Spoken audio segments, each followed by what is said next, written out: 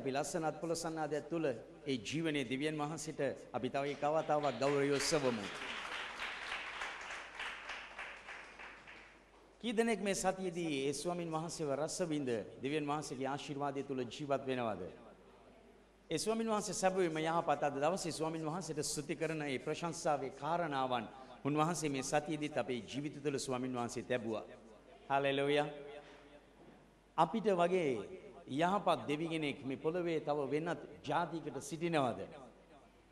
සැබවින්ම අපි කොපමණ වාසනාවන්ත සෙනගක්ද මක් නිසාද අපේ ජීවිත කාලයේදී ඒ දෙවියන් වහන්සේව හඳුනා ගන්නට උන්වහන්සේ අපට ආශිර්වාද කළා. අපි සබවින්ම අපේ අවුරුදු වලදී අපි වාසනාවන්ත මිනිස්යෝ. හalleluya. ඒ දෙවියන් වහන්සේට ප්‍රශංසා වේවා උන්වහන්සේව අපට එළිදරව් කළාට. හalleluya. අපට දුන්නු ගැලවීම ගැන මේ උදාසනත් අපි ප්‍රීති වෙන්නට ඕන. ඒ ස්වාමින් වහන්සේ ගැලවීම දීලා ස්වාමින් වහන්සේගේ රාජ්‍යයට ස්වාමින් වහන්සේගේ දේව පවුල තුලට උන්වහන්සේ ඔබව මාව අද දවසේ තෝරලා තිබෙනවා. අපි මොහොතක් අපේ දැස් වසලා අපි යාඥා කරමු. අපි අසන වචනය ගැන ස්වාමින් වහන්සේට ස්තුති දෙමින්. සැබවින්ම දෙවියන් වහන්සේගේ මනුෂ්‍යනේ මේ කාලවල ඊටමත් අන්තරායදායක කාලවල බව මේ කාලවල වල ජීවත් වෙන්නව අපේ දෙනෙත් වලට අපේ දෙසමන් වලට දකිමින් සාසමින් අපි මේ කාලවල පසු කරමින් ඉන්නවා. එනිසා දෙවියන් වහන්සේගෙන් අසන ඒ ජීවනයේ වචනය අපව ස්වර්ගික ස්ථානවලට පමුණුවන්නට බලය තිබෙනවා. එනිසා මේ දවසේදී ස්වාමින් වහන්සේ ඔබට කතා කරන දිව්‍යමය පණිවිඩය ඔබගේ හදවත් තුළට වැටෙමින් ස්වාමින් වහන්සේගේ මහිමය පිණිස ඒ ජීවන වෘක්ෂයෙන් කන්නට ස්වාමින් වහන්සේගේ ඒ ස්වර්ගයට අතුල් වෙන්නට මේ උදාසන ස්වාමින් වහන්සේ ඔබව මාව පිළියෙල කරන්නට උන්වහන්සේ සැබවින්ම සූදානමින් ඉන්නවා. අපි පස්සු කළා වූ ඒ අවිවේකී කාලවල් ඒ අපේ ගැටලු අපගේ පීඩන අපගේ ප්‍රශ්න නිසා අපේ මනසේ සමාදානය යම් කිසි තාක් දුරට ගිලිහි ගියාද මේ වෙලාවේදී අපි ස්වාමින් වහන්සේගේ දෑත් වලට බාර වෙන්නට ඕන අපේ තුල ඒ සමාදානය පූර්ණත්වයට ගෙනෙන්නට මක් නිසාද ස්වාමින් වහන්සේගේ වචනේ අපි සතුටු සිතින් පිළි අරගෙන එයින් බොහෝසී පළ දරන්නට මේ උදාසන ස්වාමින් වහන්සේ ශුද්ධාත්මයන් වහන්සේ කරුණු කොටගෙන අපි සිත්හි ගැඹුරු ස්ථාන ස්පර්ශ වෙන්නට ස්වාමින් වහන්සේ මේ උදාසන අප මැදේ සැරිසරන්නට ඕන. එනිසා අපගේ හිස සිට අපගේ පාද දක්වා ස්වාමිනී ඔබම ආශිර්වාද කළ මැනව. ස්වාමිනී අපි මේ වෙලාවේ ආසන වචනේ ඔබ වහන්සේකින්ම පැමිණෙන්නට ඕන කියලා අපේ යාඥා වසන දෙවියන් වහන්සේට අපි ප්‍රශංසා කරනවා. හැම කෙනෙක්ම ස්වාමිනී මනා සංයමකින් මහත් සමාදානයකින් ස්වාමනිය බොහන්සගේ වචනයට ඇහුම්කන් දෙන්නට. ඔවුන්ගේ සිත් සුවපත් වෙන්නට ගොඩනැගීමක් මෙ උදෑසන ඔවුන්ගේ ආත්මික ජීවිතය තුළ සිදුවෙන්නට මා යාඥා කරනවා. සුති ස්වාමනය අසන ඔබගේ සියලු දරුවන්ද කතා කරන්නට ස්වාමනය ඔබගේ පාවිච්චි වෙන්නව භාජනයද ඔබගේ දැත්වලට දැන් බාරයි. ස්වාමනය ඔබ වහන්සකින් පැමිණෙන සියලුදේ පමණක් මේ මධ්‍යයේ ක්‍රියාත්මක වෙන්නට අප ඉඩ හරිනවා. මාංශික සිදු කාරණාවන් අපි බඳිමින් ශුද්ධාත්මයන් වහන්සේ මේ මොහොතේ පටන් අප මධ්‍යයේ සැරිසරන්නට අප ආශිර්වාද කරන්නට අපි යටත් වෙනවා. ජේසුගේ බලවන්ත උතුම් නාමයෙන්. ආමේන්. එදෙවෙන් වහන්සේ සැබවීම යහපත්. මා විශ්වාස කරනවා හැම කෙනෙක්ම ඊටමත්ම හොඳ සමාදානයකින් ඉන්නවා කියලා. ක්‍රිස්තියානි ජීවිතය තුල ඊටමත්ම වැදගත් වූ කාරණාව නම් සමාදානය. ඒ සමාදානය තුළට ස්වාමින් වහන්සේ අපව කැඳවලා තිබෙනවා. ඒ නිසා යේසුස් ක්‍රිස්තුස් වහන්සේ තමන්ගේ ගෝලයන්ට කිව්වා. ලෝකයා දෙන ආකාරය නොවේ ස්වාමින් වහන්සේ දෙන්නා වූ සමාදානය. ඒ සමාදානය ස්වාමින් වහන්සේ දැන් මේ වෙලාවේදී අපේ සිත් තුළ තබලා තිබෙනවා. ඒ සමාදානයේ පමණක්ම උන්වහන්සේගේ අභියස මුළු ජයග්‍රහණයට අපව ගෙනියන්නට යනවා.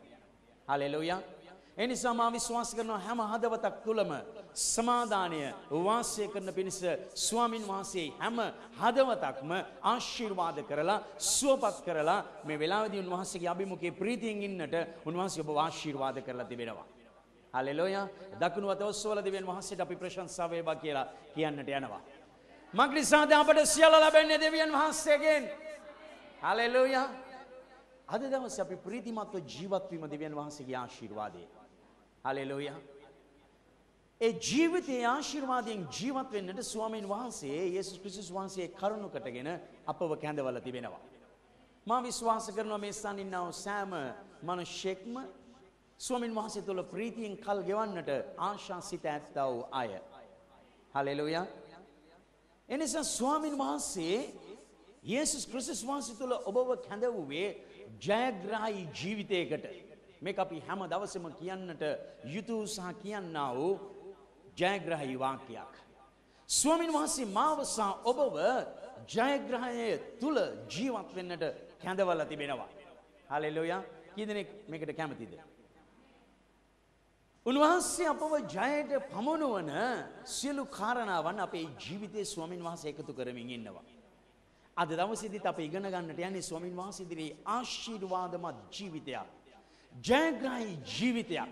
ස්වර්ගයේ ස්වාමින් වහන්සේගේ කැමැත්ත සිදු වෙනවා වගේ මේ පොළොවේදී ස්වාමින් වහන්සේගේ ස්වර්ගික කැමැත්ත ඉටු වෙනවා අපේ ජීවිතය අපි දකිනවා ඒක භුක්ති විඳිනවා. දෙවියන් වහන්සේට ස්තුතිවන්ත ජීවිතයක් අපි ගත කරනවා අපේ ජීවිත කාලවලදී. හලෙලුයා. ඔබේ ජීවිත කාලවලදී. හොඳයි අපි ස්වාමින් වහන්සේගේ වචනයට එළඹෙන්නට යනවා. යාකොබ්තුමා ලිව්වා වූ ඒ සාමාන්‍ය පත්‍රයේ පළවෙනි පරිච්ඡේදයේ විසි එක්වෙනි පදය සිට විසි පස්වනි පදය දක්වා මේ දෑසන අපි ඔබ සමඟ කතා කරන්නට යනවා.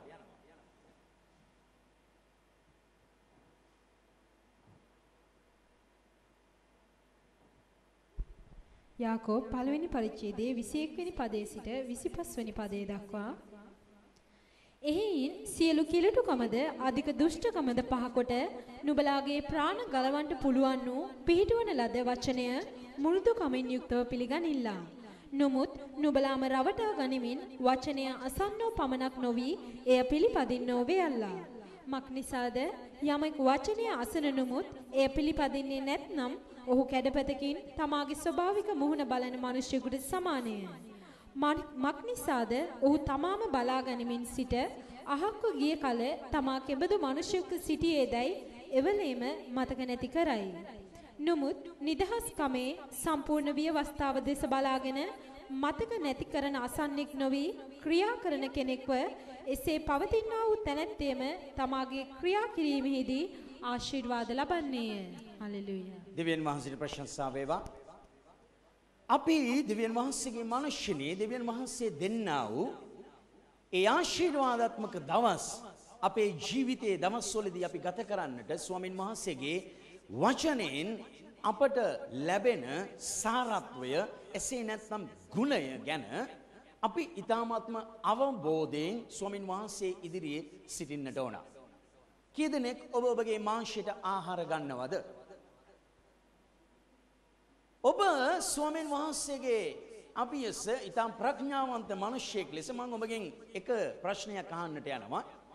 ඔබ ආහාරයට ගන්නා වූ ආහාර ගැන ඔබ ඉතා අවබෝධයෙන් උනන්දුවෙන් සහ කල්පනාවෙන් ඒ ආහාර ගන්නවද? ඔබේ ආහාර ඔබේ ශරීරයට ගැනීමේදී ඔබ බොහෝ කාරණා ගැන විමසිලිමත් වෙනවා. මා විශ්වාස කරනවා ඔබේ සේ කරන කෙනෙක්. ඔබේ දෑතට ඔබගේ ඇස්වලට දකින හැම ආහාරයක්ම ඔබට යෝග්‍ය නැති බව මා විශ්වාස කරන ඔබ දැන සිටිනවා. ස්වාමින් වහන්සේ දුන්නා වූ දවස්වලදී ප්‍රඥාවන්ත වූ ජීවත් වෙන්නා වූ දරුවන් හැටියට අපි ආහාරයට අනුභවයට අපි ගන්නා වූ ආහාරවල තිබෙන්නා වූ ගුණය ගැන ගුණාත්මක භාවය ගැන අපි හැම මොහොතෙම සැලකිලිමත් වෙනවා. මා හරිද? අපි අපි ගන්නව ආහාරයේ තිබෙනව ගුණාත්මක භාවය ගැන අපි සැලකිලිමත් වෙනවා මක් නිසාද අපි ගන්නව ආහාරයෙන් අපි හොඳ පෝෂණයක් අරගෙන නිරෝගීමත් ජීවිතයක් ගත කරන්නට සුවතායි ජීවිතයක් ගත කරන්නට සමවින්ම අපි ගන්නව ආහාර ගැන අපි සැලකිලිමත් වෙනවා. දෙවියන් වහන්සේ අපිව ආත්මිකයන් ලෙස කැඳවලා තිබෙන බැවින් ස්වාමින් වහන්සේගේ අභියස අපේ ආත්මයට අපේ ප්‍රාණය ජීවත් වෙන්නට අපේ ශරීරය ජීවත් වෙන්නට අපිට ලැබෙන වචන ගැන අපිට ලැබෙන අවවාද ගැන අපිට ලැබෙන උපදෙස් ගැන දෙවියන් වහන්සේගේ මනුෂ්‍යනේ අපි වඩා සැලකිල්ලක් දක්වන්නට ඕන. ඇයි මා එසේ කියන්නේ පොළවේ සිටින අනිකුත් මනුෂ්‍ය ජාතීන්ට වැඩිය ස්වාමින් වහන්සේ සන්තක වුණා වූ උන්වහන්සේගේ සන්තක සෙනග අපි උන්වහන්සේට අතිවිශේෂීය සෙනගක්. මේ පොළොව මධ්‍යයේ ස්වාමින් වහන්සේ ඉදිරියේ අතිවිශේෂිත සෙනගක්. මේ නිසා තමයි ස්වාමින් වහන්සේ ඔබ දෙස බලලා කියන්නේ ඔබ මේ පොළවේ ලුණු. ඔබ මේ පොළවේ ආලෝකය. මේ පොළොවට රස්ස ගන්වන්නට මේ පොළොවට එළිය ගෙනෙන්නට ස්වාමින් වහන්සේ සන්තක සෙනගක් වූ ස්වාමින් වහන්සේගේ අසහාය වස්තුව උන්වහන්සේ තෝරලා තිබෙනවා අනිකුත් කාරණාවන් උදෙසා ආශිර්වාදයේ පොළොවට ගෙනෙන්නට. එනිසා ස්වාමින් වහන්සේගේ මනුෂ්‍යනය උන්වහන්සේ අපව කැඳවුවා වූ ඒ ස්ථාන කරා අපි ළඟා වෙන්නට අපි අපේ ජීවිතයේදී අපි අසන වචන ගැන අපේ ආත්මික ගොඩනැගීම ගැන අපේ ආත්මෙන්ට ලැබෙන පෝෂණය ගැන අපි වඩා සැලකිල්ලක් දක්වන්නට ඕන. අපි අපේ මාංශික ආහාර උදෙසා අපි වඩා සැලකිල්ලක් දක්වනවා වගේ. අපේ ආත්මික ආහාර උදෙසා දෙවියන් වහන්සේගේ මනුෂ්‍යනේ අපි ඉතා වඩා සැලකිල්ලක් අපේ දවස්වලදී අපි දක්වන්නට ඕන. මක්නිසාද ස්වාමින් වහන්සේගේ වචනය උන්වහන්සේ පැහැදිලිව කියනවා අපිව ජීවත් කරන්නේ ස්වාමින් වහන්සේගේ ආත්මය අනුව. අපි ජීවත් වෙන්නට ස්වාමින් වහන්සේ උන්වහන්සේගේ වචනය එවලා අපිව පෝෂණය කරලා තිබෙනවා. හලෙලුයා. දාවිත් විටක ස්වාමින් වහන්සේට කියනවා ගායනා කරමින් ස්වාමිනී ඔබගේ වචන මගේ පාදවලට පහනක් මගේ මාවතට එලියක්. අපි කිතුනුවේ හැටියට දෙවන් වහන්සේගේ මනුෂ්‍යය අපට ඉදිරියට යන්නට සාර්ථක ගමනක් ඉදිරියට යන්නට අපිට සමවින්ම මඟ පෙන්වන්නේ දෙවියන් වහන්සේගේ වචනය මේක ගැන කිසි තර්කයක් කිසි වාදයක් නැහැ අපිට පිළිගන්නට පුළුවන් වූ කාරණාවක්. අද දවසේ කිතුනුවේ හැටියට ස්වාමින් වහන්සේගේ වචනය අපිව පෝෂණය කරලා අපිට සාර්ථක කිතුණු ජීවිතයක් මේ පොළවේ ගත කරන්නට ස්වාමින් වහන්සේ මඟ පෙන්වමින් ඉන්නවා. කීදෙනෙක් මා සමග එකඟ වෙමින් සාක්ෂි දෙනවද? උන්වහන්සේගේ වචනය මා අද පළවෙනි පරිච්ඡේදයේ 25 වෙනි පදයෙන් ආරම්භ කරන්නට යනවා. ස්වාමින් වහන්සේගේ මෙහෙකරු යාකොබ් තුමා කරුණ කොටගෙන ස්වාමින් වහන්සේ මෙලෙස කතා කරනවා. නිදහස් කමේ සම්පූර්ණ ව්‍යවස්ථාව දෙස බලාගෙන මතක නැති කරන අසන්නෙක් නොවි ක්‍රියා කරන කෙනෙක්ව එසේ පවතිනා වූ තැනැත්තේම තමාගේ ක්‍රියා කිරීමේදී ආශිර්වාද ලබන්නේය. මම ස්ථානයේ ඉන්න උසනකගෙන් අහන්නට යනවා කවුද අකමැති ආශිර්වාදාත්මක ජීවිතයක් ගත කරන්නට. කවුද අකමැති ආශිර්වාදාත්මක ජීවිතයක් ගත කරන්නට. ඔබ ඉනිහඬ තමයි මම දකින්න ඔබ හැම කෙනෙක්ම කැමති ආශිර්වාදී ජීවිතයක් ගත කරන්නට. ජය ජීවිතයේ යාඥා ගෘහය තුළ ස්වාමින් වහන්සේ ඔබව තවමින් ඔබව ගොඩනගනවා ජයග්‍රහයි ජීවිතයක් ආශිර්වාදාත්මක ජීවිතයක් ඔබ මේ පොළවේ ගත කරන්නට ඕන බැවින් ස්වාමින් වහන්සේ අද දවසේ ඔබ සිටින ස්ථානයට උන්වහන්සේ ඔබව ගෙනල්ලා තිබෙනවා.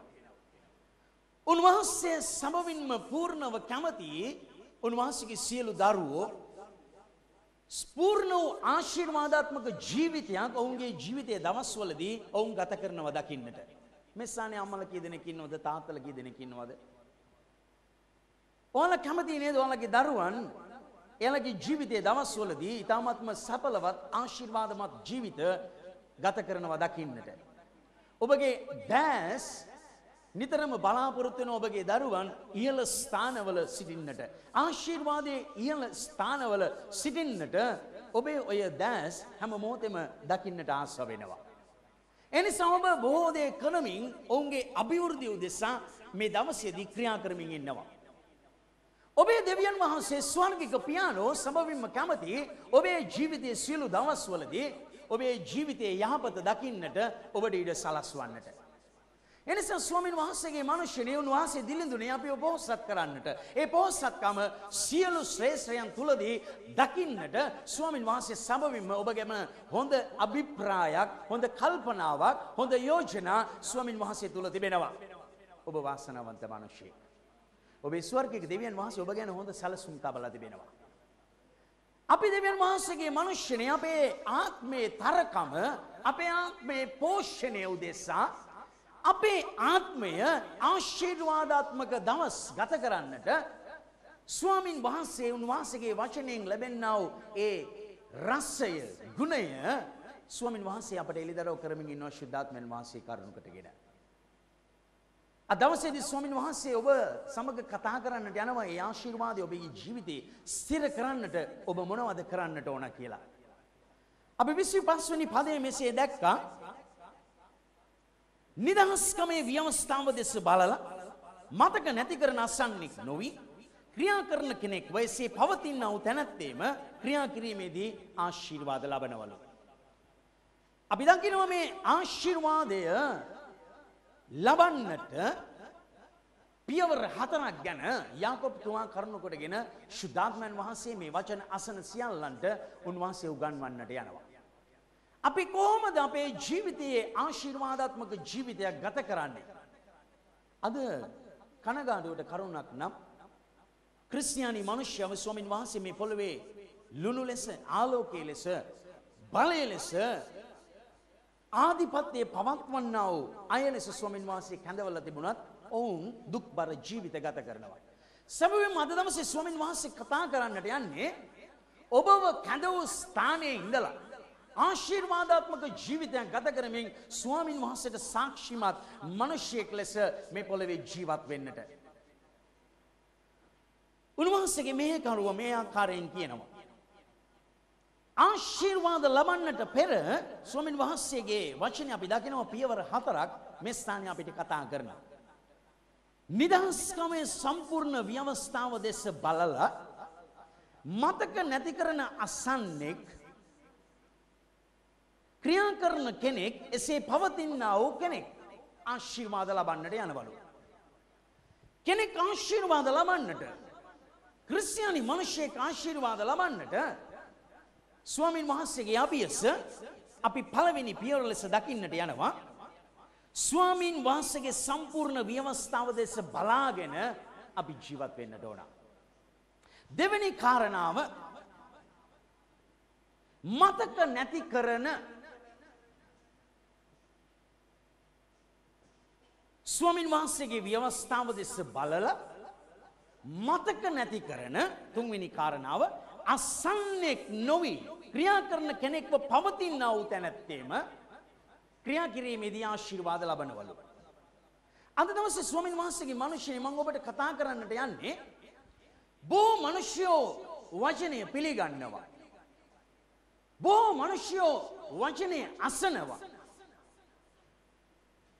අද දවසේ බොහෝ සැලකිලිමත් වූ කාරණාවක් ලෙස අපි අද දවසේ සොයන්නට යනවා මේ මතක තබා ගැනීම බොහෝ මනුෂ්‍යයන්ට තිබෙන්නා වූ ගැටලුවක් තමයි ස්වාමින් වහන්සේගේ උපදෙස් උන්වහන්සේගේ ආඥා උන්වහන්සේගේ වචනය ඔවුන්ගේ මතකයේ නැති එක. බොහෝ මිනිස්සුયો අපිට ඇවිදින් කියනවා ස්වාමින් වහන්සේගේ මිනිස්සු අපි වචනය බොහෝ කියවුවත් මේ වචනය අපිට මතක හිටින්නේ නැහැනේ. ඔබ දන්නවද ස්වාමින් වහන්සේගේ මිනිස්යනේ අප ඒ වචනය මතක තබා නොගැනීම ආශිර්වාද ලබා ගන්නට බාධාවක් කියලා. ස්වාමින් වහන්සේගේ වචනය අපි මේ ස්ථානයේ දැක්කා. නිදහස් කමේ ව්‍යවස්ථාව දෙස බලලා මතක නැති කරන්නා වූ අසන්නෙක් නොවී. ක්‍රියා කරන කෙනෙක් වෙසේ පවතිද්දී ඒ අය ආශිර්වාද ලබන්නට යනවා. ස්වාමීන් වහන්සේගේ වචනය සමහර ඉංග්‍රීසි පරිවර්තනවල මාව දැක්කා. මේ වචනේ සූදානම් කරදී ශුද්ධාත්මයන් වහන්සේ මට බොහෝ කාරණාවන් ඉගැන්නුවා. මේ මතක නැති කරන කියන්නා වූ මේ සිංහලයේ යෙදලා තිබෙනා මේ වචනවලට අර්ථයට සමහර පරිවර්තනවල මා දකින්න ලැබුවා. ගැඹුරු මතකයක් ඔවුන්ගේ සිත්වල තබා ගන්නේ නැති අය ගැඹුරු මතකයක් ගැඹුරු මතකයක් අපේ සිත්වල නැතිනම් දෙවියන් වහන්සේගේ මිනිස්යනේ අපිට ආශිර්වාද ලබන්නට බෑ. ඔබ බොහෝ වෙලාවට වචනය කියවනවා ඇති. ඔබ බොහෝ දේශනාවලට සමන් දෙනවා ඇති. ඔබ දන්න උපරිම ප්‍රමාණයෙන් දෙවියන් වහන්සේගේ වචනේ ක්‍රියාත්මක කරන්න උත්සාහ කරනවා ඇති. නමුත් ස්වාමින් වහන්සේ බලාපොරොත්තු වන ප්‍රමාණය ඔබේ ජීවිතයේ ඉටු නොවන්නේ අද ස්වාමින් වහන්සේ ඔබට තේරුම් කරලා දෙන්නට යනවා ඔබට ගැඹුරු මතකයක් තුල ස්වාමින් වහන්සේගෙන් අසන වචන ඔබේ සිත් තුළ ඔබේ ප්‍රාණය තුළ තැන්පත් වෙලා නැති නිසා මේ ආශිර්වාදයට ලොකු ගැටලුවක් ලොකු බාධාවක් සිදු වෙලා තිබෙනවා කියලා. අද දවසේ ස්වාමින් වහන්සේගේ මෙහෙකරුවා ඔබට ඒක තේරුම් කරලා දෙන්නට යනවා. අපි ආශිර්වාදාත්මක ජීවිතයක් ගත කරන්නට අපට ගැඹුරු මතකයක් අවශ්‍යයි. ඒ අයට පුළුවන් වෙනවා ස්වාමින් වහන්සේගේ වචනය අමතක කරන්නේ නැතුව ක්‍රියාත්මක කරන්නට ස්වාමින් වහන්සේගේ මහිමය දකින්නට. ඔබ දැකලා ඇති වගා බිම්වල වගා ඉනංවල ඒ ගොවියා සිටවන ලද්දාව සමහර ගස් මුල් පිටින් ගලවල වැටලා තිබෙනවා. ඔබට හිතෙනවද යම් කිසි කාරණාවක් මේකට හේතු වෙන්නා වූ. ඒ පැලය අවශ්‍ය ගැඹුරට සිටවා නොසිටීම ඒ ශාකය භූමියෙන් ගැලවිලා ඉදිරිලා වැටෙන්නට හේතු සාධකයක් වෙන්නට යනවා. අද බොහෝ ක්‍රිස්තියානි මනුෂ්‍යයන් දෙවන් වහන්සේගේ දරුවනේ ඔවුන්ගේ කිතුුණු ජීවිත අද දවසේ අඩපන වෙලා තිබෙන්නේ ඔවුන් දෙවියන් වහන්සේගෙන් අසන වචනය තැම්පත් කරන්නට ඔවුන්ගේ සිත තුළ ගැඹුරු මතකයක් ඔවුන් ගොඩනගල නැති නිසා. ස්වාමින් වහන්සේගේ මේ කරුව ඉතා පැහැදිලිව මේ ස්ථානයේ කතා කරනවා. උන්වහන්සේගේ ව්‍යවස්ථාව දෙස බලාගෙන මතක නැති කරන අසන්නේ. අද බොහෝ ක්‍රිස්තියානි මනුෂ්‍යයන් වචනය අසනවා නමුත් ඒ වෙලේ මේක අමතක කරනවලු. වපුරන්නගේ උපමාව මේක ඉතාමත්ම සවිස්තරව කතා කරලා බෝ මනුෂ්‍යන්ට උගන්නනවා. වචනය අසනවා නමුත් වචනය තැම්පත්වීම අද දවසේ බොහෝ දුරට අඩු වෙලා නිසා කිතුුණු ජීවිතයේ දෙවියන් වහන්සේ බලාපොරොත්තු වෙන්නව අස්වැන්න ඔවුන්ගේ ජීවිතය අද දවසේ ලබන්නට ඔවුන්ට බැරි වෙලා තිබෙනවා. මෙස්ථානයේ ඉන්න ඔබ හැම කෙනෙක්ම දෙවියන් වහන්සේගේ ආශිර්වාදයේ පූර්ණව ලබන්නට ආශාව ඇති අය මා විශ්වාස කරන ප්‍රකාරයට. එසේනම් දෙවියන් වහන්සේගේ මනුෂ්‍යයන් වහන්සේගේ ලියවිල්ලෙන් දෙන්නා වූ ඒ මුළු ගොඩනැගීම අපේ සිත් තුළ මේ වෙලාවේදී ඇති වෙන්නට ඕන. ඒ ගොඩනැගීම තමයි ස්වාමින් වහන්සේ අපිව ස්ථිර කරන්නට යන්නේ උන්වහන්සේගේ මුළු ආශිර්වාදය ලබන්නට. හලෙලූයා. මෙසන් ඉන්නව හැම කෙනෙක්ම දෙවියන් වහන්සේගේ පූර්ණ ආශිර්වාදය ලබනවට අපි සැබවින්ම කැමතියි. කී දෙනෙක් විභාග වලට ඉඳගෙන තිබෙනවද? ඔබ විභාගයේ ඉඳගද්දී ඉහළම සම්මාන සාමාර්ථ ඇතුව විභාගයේ සමත් වෙන්නට තමයි ඔබ අපේක්ෂා කරන්නේ. එහෙමද? එහෙමද? ඒක තමයි ඔබගේ බලාපොරොත්තුව. මම සහ මම දෙවියන් වහන්සේගෙන් ලැබුවා මගේ කිතුණු ජීවිතය මම ආශාව වෙනවා ස්වාමින් වහන්සේගේ අභියස පූර්ණ ආශිර්වාදය තුල ජීවත් වෙන්නට. ඒ නිසා ශුද්ධාත්මයන් වහන්සේ කියන උන්වහන්සේගේ සීල උපදෙස් මත අපේ ජීවිතේ ගොඩනගන්නට අපි උත්සාහ කරනවා. ඔබ උත්සාහ කරනවා. මේ මොහොතේදී ස්වාමින් වහන්සේ ඔබට කියලා දෙන්නට යනවා ඒ දෙවියන් වහන්සේගෙන් අසන වචන ඔබ තුල ගැඹුරු තැන්පතුවක් ස්වාමින් වහන්සේ දුන්නා වූ ඒ ජීවිතයේ දවස්වලදී ඔබ ගත කරන්නට ඕන කියලා. මේ තැන්පතුව කියන දෙය කී දෙනෙක් හඳුනනවද? තැන්පතුව කියන දෙය, ඒ කියන්නේ මේ වචනේ ගෙනෙන අර්ථය කී දෙනෙක් හඳුනනවද? සමහරවිට ඒක කිව්වොත් ඩිපොසිට් කියලා ඔබ හඳුනන්නට යනවා. account එක ඒ කියන්නේ ගිණුම. අද දවසේ මේ පොළවේ ජීවත් වෙන බොහෝ අය ඉතුරු කරන්නට උත්සාහ කරන අය. ඔවුන් දන්න ප්‍රකාරයට ඒක භූමිකව සිදුවෙන්නට පුළුවන් ඒ ගැන ගැටලුවක් නෑ අද දවසේ මම ඒ ගැන නෙමෙයි කතා කරන්නට යන්නේ. මේ තැම්පතුව මේ ගිනුම ගැන ස්වාමීන් වහන්සේගේ අභියස ආත්මිකව ජීවත් වෙන්නව අපි දැනගන්නට ඕන. මේ භූමික තැම්පතුව ගැන දාවිද අලංකාර ගීතිකාවක් ගායනා කරන ඔබ පෙරල බැලුවතින් 49 වෙනි ගීතාවලියට මේ භූමික තැන්පතුව ගැන නෙමෙයි ස්වාමින් වහන්සේ අද දවසේ ඔබට කතා කරන්නට යන්නේ. නමුත් අද දවසේ ස්වාමින් වහන්සේගේ අභියස මේ භූමික තැන්පතුව ගැන අපිට එපමණ අවශ්‍යතාවයක් නෑ මක් නිසාද ස්වාමින් වහන්සේ කිව්වේ රාජ්‍ය ධර්මිෂ්ඨකම සොයන්න ඉතුරු දේ ස්වාමින් වහන්සේ අපිට දෙන්නට යනවා කියලා. හලෙලුයා. අපි බලමු 49 වෙනි ගීතාවලියේ 16 වෙනි පදේ ඉඳලා 20 වෙනි පදේ දක්වා. ගීතාවලිය 49 වෙනි පරිච්ඡේදයේ 16 වෙනි පදයේ සිට 20 වෙනි පදයේ දක්වා. යමෙක් ධනවත් වන කල්හිද ඔහුගේ ගෙයි ආශ්චර්ය වැඩි වන කල්හිද බය නොවව. මක් නිසාද ඔහු මැරෙන කල කිසිවක් ගෙන නොයන්නේය. ඔහුගේ ඉසුර ඔහු අනුව නොයන්නේය. ඔහු ජීවත්ව සිටියදී තමා ගැනම පාරට්ටු කරගත්තේ වී නුමුත් නුඹ නුඹටම ශුභ සිද්ධ කරගන්න කල්හි මිනිසයන් නුඹට ප්‍රශංසා කරන නුමුත් ඔහු තම පියවරුන්ගේ පරම්පරාවට යන්නේය. ඔහු කිසි කලෙකත් එළිය නොදක්නෝය.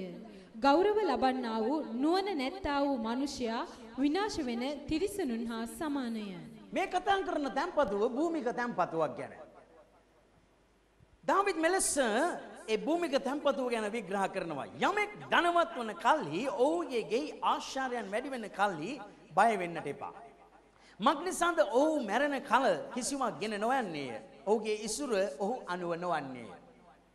ඔහු ජීවත්ව සිටිදි තමා ගැනම පාරට්ටු කරගත්තේ වී නමුත් නුඹ නුඹට සුභ සිද්ධ කරගන්නා කල්ලි මනුෂ්‍යයන් නුඹට ප්‍රශංසා කරන නමුත් ඔහු තම පියවුන්ගේ පරම්පරාවට යන්නේය.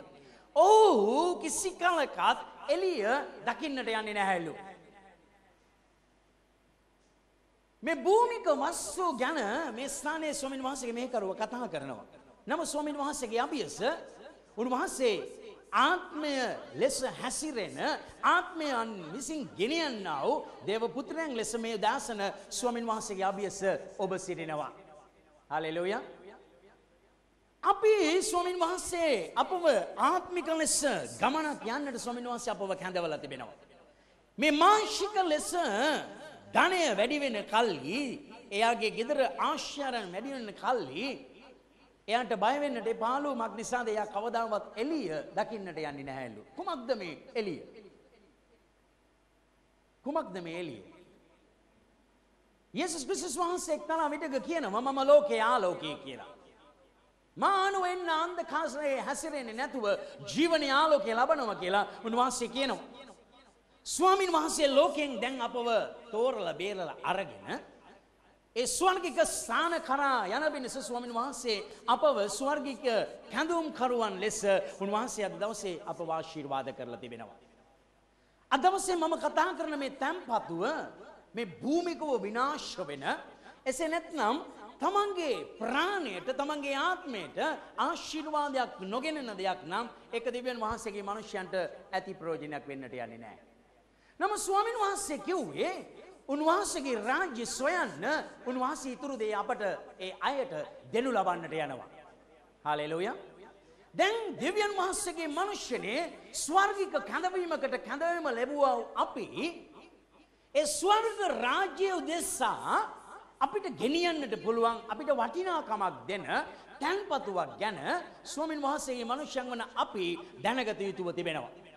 මේ භූමික තැන්පතුව දිනක නාස්්‍යලා යන්නට යනවා එයි මනුෂ්‍යගේ ප්‍රාණයට මනුෂ්‍යගේ ආත්මයට කිසි වටිනාකමක් දෙන දෙන්නට යන්නේ නෑ.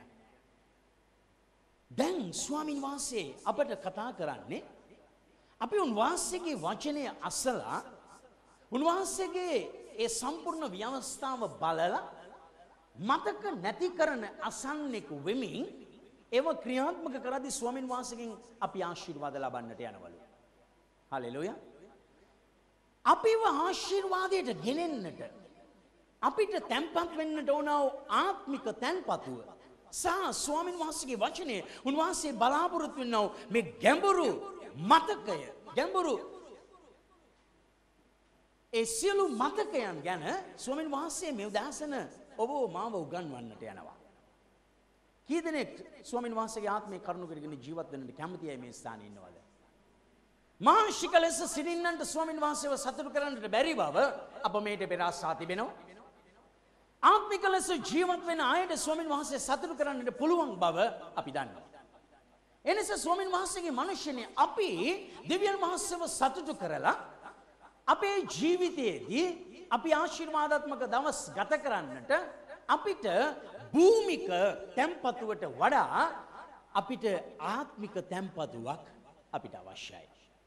කීදෙනෙක් මා සමග එකඟයිද? ගැඹුරු මතකයක් අපිට අවශ්‍යයි. හලෙලුයා. මෙස්සානේ පිරිසිදු කිරීම ගැන බොහෝ දැනුම තියෙන අය මෙස්සාන ඉන්නවා. ඒ කිලිටිකම ඒ කියන්නේ ඒ පැල්ලමක් ඊ타මාත්ම ගැඹුරෙන් නොතිබුණොතින් ඒක පවිත්‍ර කරන්නට ලේසිද? හ්ම්? යම් කිසි පැල්ලමක් ඒක මතු පිට පෘෂ්ඨයේ ඊටා ඝනත්වයක් නැතුව තිබෙද්දී ඒක පවිත්‍ර කරන්නට ලේසිද?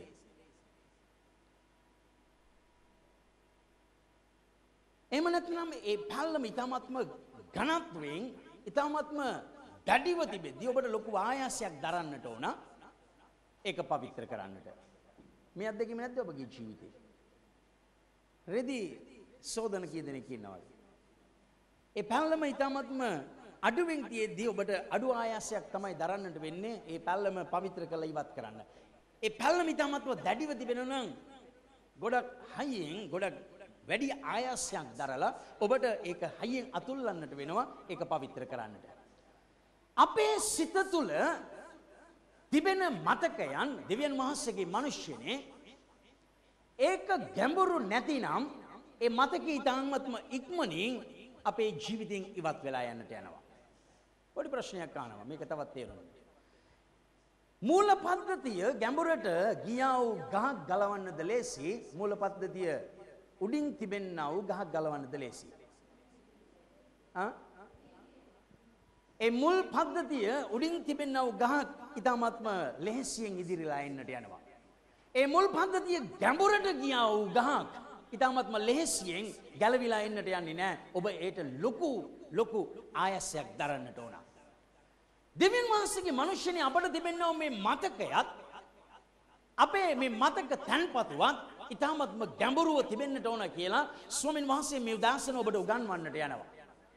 අද බොහෝ මනුෂ්‍යයන්ට දෙවියන් වහන්සේ කතා කරන්නා වූ දෙවියන් වහන්සේගෙන් අසන්නා වූ වචන ඉතා ඉක්මනින් ඔවුන්ගේ ජීවිතයෙන් අමතක වෙලා යන්නට යන්නේ ඔවුන්ගේ තැන්පතුව ඉතාමත්ම ගැඹුරු නැති තැන්පතුවක් බැවින්. මේ මතක ඉතාමත්ම ඉක්මනින් මනුෂ්‍යයන්ගේ ජීවිතවලින් ගිලීලා යන්නට යනවා. නමුත් දෙවියන් වහන්සේගේ මනුෂ්‍යනේ ස්වාමින් වහන්සේගේ වචනේ කතා කළා යාකොබ් පළවෙනි පරිච්ඡේදයේ 25 වෙනි පදය ඒ වචනය අසලා එක ගැඹුරු මතකයක් තුළ තැන්පත් නොවුණොත් ස්වාමින් වහන්සේගේ වචනය පවත්වන්නට බැරිව ආශිර්වාදය අපේ ජීවිතෙන් ගිලිහිලා යනවා කියලා. සැබවින්ම දෙවියන් වහන්සේගේ මනුෂ්‍යනේ අපි මේ කාලවල් කරුණාවේ අවසාන කාලවල් ජීවත් වෙමින් සිටිනවා. ස්වාමින් වහන්සේගේ වචන එළිදලව් කරන ප්‍රකාරයට ඉදිරි කාලවල් ඊ타මත්ම වේදනාත්මකව පීඩා කාලවල් අපිට පසු කරන්නට තිබෙනවා. එනිසා ස්වාමින් වහන්සේගේ වචනේ අපි දකිනවා පයින් යන්න සමග අපි වෙහෙසෙනවා නම් අශ්වයන් සමග අපිව දුවන්නට දමන විට අපි කෙසේ මේ ජයග්‍රහණය ලබන්නද මේ පරීක්ෂාවේ. ස්වාමින් වහන්සේගේ මනුෂ්‍යනේ අපිට ඉතාමත්ම ගැඹුරු මතකයක් අවශ්‍යයි මේ ස්වාමින් වහන්සේගේ වචනය තැන්පත් කරන්නට. එසේ තැන්පත් නොවනා වූ ජීවිත අද දවසේ ඉතාමත්ම අස්ථාවරව ඉතාමත්ම අනතුරේ තිබෙනවා කියලා ශුද්ධාත්මයන් වහන්සේ මේ උදාසන ඔබට කතා කරන්නට යනවා. ඔබ දන්න ඔබට කොයි වගේ මතකයක්ද තිබෙන්නේ කියලා. ඔබ දෙවියන් වහන්සේගෙන් අසන මේ වචනය ඔබ තැන්පත් කරන්නේ කොපමණ ගැඹුරු මතකයක් තුළද තිබෙන්නේ කියලා දිව්‍යන් වහන්සේගේ මනුෂ්‍යනේ ඔබ ඔබේ තැන්පතුව ගැන අවබෝධයෙන් ඉන්නවා. හලෙලුයා. දෙවියන් වහන්සේගේ මනුෂ්‍යයේ සමස්තයක් ලෙස අදවසේ බොහෝ කිතුණුවන් ඒ වචනය අසනවා. නමුත් තැන්පත් වෙන්නේ නැහැ ඊ타මත්ම ගැඹුරු මතකයන් තුළ. අද මේ නිසා ස්වාමින් වහන්සේගේ වචනය තුල ජීවත් වෙන්නට බොහෝ මිනිසයන් අපොහසත් වෙලා ඉන්නවා. ඔබ දන්නවද විතක මිනිස්සු දිව්‍යන් වහන්සේගේ ස්වරූපයෙන් වැඩ කරනවා විතක දිව්‍යන් වහන්සේ අකමැති ස්වරූපයෙන් මිනිසයන් ක්‍රියාත්මක වෙනවා. ස්වාමින් වහන්සේගේ වචනයේ ප්‍රකාරයට උන්වහන්සේ කිව්වේ ඒ සම්පූර්ණ ව්‍යවස්ථාව දෙස බලලා ඒක අසලා ඒක මතක නැක්ති නොකර එක ක්‍රියාත්මක කිරීමේදී ඔහු ආශිර්වාද ලබන්නට යනවා කියලා. අදවසේ ඇයි මනුෂ්‍යන ආශිර්වාද ලබන්නට බැරි ඔවුන් වචනය බලනවා ඔවුන් වචනය අසනවා ඔවුන් වචනය ගැඹුරෙන් තැම්පත් කරලා නැති නිසා මනුෂ්‍යගේ ප්‍රාණය ක්‍රියාත්මක වෙන්නේ ඉහලින් පැමිණෙන්නව ස්වාමින් වහන්සේගෙන් පැමිණෙන්නව ඒ ස්වර්ගික සාස්ම ස්වර්ගික ප්‍රඥාව තුල නොවන බැවින් අදවසේ මනුෂ්‍ය ආශිර්වාද ලබන්නේ නැහැ. අපි සැබවින්ම දෙවියන් වහන්සේගේ මනුෂ්‍යනි මේ කාරණා සොයලා අපි ඉගෙන ගන්නට ඕන මක් නිසාද ස්වාමීන් වහන්සේ අපව මේ පොළොවේ තානාධිපතිවරුන් නිසුන් වහන්සේ කැඳවලා තිබෙනවා. ක්‍රිස්තුස් වහන්සේ වගේ මේ පොළොවේ ජීවත් වෙන්නට වැඩ කරන්නට සේවය කරන්නට උන්වහන්සේ ඔබ මාව කැඳවලා තිබෙනවා. අද මේ වෙලාවේදී ස්වාමීන් වහන්සේ ඔබට කියන්නට එන ඔබට ගැඹුරු මතකයක් අවශ්‍යයි ස්වාමීන් වහන්සේගේ වචනය ක්‍රියාත්මක කරන්න. අද මිනිස්සුયો ඒ වචනය ක්‍රියාත්මක කරන්නේ නැත්තේ ඔවුන්ගේ මතකේ නෑ දෙවියන් වහන්සේ මෙවැනි කාරණාවක් මට ඉගැන්නුවද මට බලන්නට සැනස්වද කියන කාරණාවට. සමහර වෙලාවට මිනිස්සුયો දන්නේ නෑ අපේ ජීවිතවලට එන්නව හැම ගැටලුවකටම ස්වාමින් වහන්සේ තුල පිළිතුර තිබෙනවා කියලා. ඒ පිළිතුර ස්වාමින් වහන්සේ උගන්වලා තිබෙනවා. නමුත් ඒ අවශ්‍ය වෙලාවේදී ජයග්‍රහීව ක්‍රියා කරන්නට මිනිසයා දන්නේ නැත්තේ ඔහුගේ තැම්පත්ුවේ ඒ ජයග්‍රහණයට හේතු වෙන කාරණාව දෙවියන් වහන්සේගේ වචනෙන් ඉගෙනගත්තු කාරණාව ඒ තැම්පත්ුව තුල නැති නිසා ඒ කාරණාව ඉදිරියට එන්නේ නැහැ ඔවුන්ගේ ජීවිතේ ක්‍රියාත්මක කරන්නට. මං කියන දේ ඔබට තේරෙනවද? අද බොහෝ මනුෂ්‍යයන්ට හොඳ කිතුණු ජීවිතයක් ගත කරන්නට ස්වාමින් වහන්සේ ආරාධනා කරනවා. ස්වාමින් වහන්සේගේ ස්වභාව ඒ කිතුණු ජීවිතය ඔබට ගත කරන්නට නිතරම උපදෙස් දෙනවා. මේ උපදෙස් සමහරලාට එක දවසකට පමණක් සීමා වෙනවා. පැය ගණනකට පමණක් සීමා වෙනවා. මාස ගණනකට පමණක් සීමා වෙනවා. එහෙම නැත්නම් අවුරුදු ගණනකට. දෙවියන් වහන්සේ කිව්වේ උන්වහන්සේගේ වචනේ සදාකල්ම පවතිනවා කියලා. හලෙලුයා. ඒ සදාකල්ම පවතින වූ දෙවියන් වහන්සේගේ වචනය තැන්පත් වෙන්නට ස්ථිර ගබඩාවක් අපිට අවශ්‍යයි. හලෙලුයා. ස්ථිර තැන්පතුවක් අපේ දෙවියන් වහන්සේ දෙන්නව ඒ ස්වර්ගික දැනගන්ම තැන්පත් වෙන්නට අවශ්‍යයි. කී දෙනෙකුට හිතනවද මේක සැබවි මොන කියලා? අද දවසේ බොහෝ මනුෂ්‍යයන් උගන්වන කාරණාවන් ඔවුන් ලේසියෙන් අමතක කරලා දාන්නේ ඔවුන්ට ගැඹුරු මතකයක් නැති නිසා. මේවා ඉගැන්නුව විතරයි ඔවුන්ගේ ජීවිත වලින් ඒව හැලිලා ගිහිල්ලා. ඒව නාස්ති වෙලා ගිහිල්ලා. ඒව ඉවත් වෙලා ගිහිල්ලා තමන්ගේ සිත් තුලින්. එහෙම නැතිනම් දිවෙන් වහන්සේගේ මනුෂ්‍යනි මේ කාලවල් වෙද්දී අපි ඇසූ වචනයේ ප්‍රකාරයට ස්වාමින් වහන්සේගේ වචනේ හේබ්‍රු කතුරලයා කියනවා අපි ගුරුවරු වෙන්නට ඕනල් කියලා. කී දෙනෙක් මේ වචනේ අසලා තිබෙනවද? අපි අපේ කිතුණු ජීවිතයේ මේ දවස්වලදී අපි කොපමණ දේශනා නම් ඇහුවද? කී දෙනෙක් මා සමග සාක්ෂි දෙනවද? කොපමණ වාර ගණනක් ස්වාමින් වහන්සේගේ වචනේ කියෙව්වද? උන්වහන්සේගේ වචනේ ඇසුවද? අද කෝ ඒ වගේ බලාපොරොත්තු වුණු ප්‍රතිඵලය නැත්තේ ඇයි? ස්වාමින් වහන්සේගේ මනුෂ්‍යනේ ශුද්ධාත්මයන් වහන්සේ මට මේ කාරණාව කතා කරද්දී කිව්වා. සමවින්ම මනුෂ්‍යගේ ඒ ගැඹුරු මතකයක් නැති නිසා ඔවුන්ගේ සිත ගැඹුරු ස්ථානවල මේ වචනේ තැම්පත් කරන්නේ නැති නිසා ඔවුන් ඒක ඊටා ලෙහෙසියෙන් අමතක වෙලා යනවා. ඔබ ජයග්‍රහී මිනිසෙක් වෙන්නට නම් ස්වාමින් වහන්සේගේ රාජ්‍යයට ඇතුල් වෙන ඒ උතුම් අභිප්‍රාය ඔබගේ සිත තුළ තිබෙනවා නම් ඔබ ඒ අසන වචනය ක්‍රියාත්මක කිරීමේදී තමයි ඔබ ආශිර්වාද ලබන්නට යන්නේ. හලෙලුයා. කී දෙනෙක් යදී හැමතිස්සෙම බයිබලේ තියෙනවද? හැමතිස්සෙම මට නම් හරි අසීරු කාරණාවක් මොකද රැකියාවත් කරන්නට ඕනනේ. නම ස්වාමින් වහන්සේගේ වචනේ අපි නිතරම ක්‍රියාත්මක කරන්නට ඕන. කී දෙනෙක් මා සමග මේ කාරණාවට එකඟයිද? ශුද්ධාත්මයන් වහන්සේ නිරන්තරයෙන් උන්වහන්සේ දෛනිකව හැම මොහොතෙම උන්වහන්සේ අපිට මඟ පෙන්වනවා. හලෙලුයා. මේ වචනේ දිව්‍යන් වහන්සේගේ මිනිස්යනේ පොතේ තිබීමට වඩා දේව වාක්‍ය කියන්නේ ඒක අපේ සිතේ තිබීම ඊ타ත්ම අගනාදයක් කියලා. අපේ සිත තුළ මේක තැම්පත්ව තිබෙන්නට යුතුව තිබෙනවා කිතුණු ජීවිතයක් තුළ. අපිට හැම මොහොතෙම බයිබලය අතේ තියන් ඉන්නට බෑ. අපිට හැම මොහොතෙම බයිබලේ කියවන්නට බැහැ. නමුත් ස්වාමින් වහන්සේගේ වචනය දවිත්තුමා කියනවා ඒ උන්වහන්සේගේ වචනය රෑදහවල් මෙනේ කරන මනුෂ්‍යයා ආශිර්වාද ලබනවා. හලෙලුයා. මේ මෙනෙහි කිරීම සිදු වෙන්නේ දෙවියන් වහන්සේගේ මනුෂ්‍යනේ අපගේ මතකය තුල. හලෙලුයා. අපි පොතක් අරගෙන කියවනවා කියන එක කියවීම. ඒක මෙනෙහි කිරීම නෙමෙයි.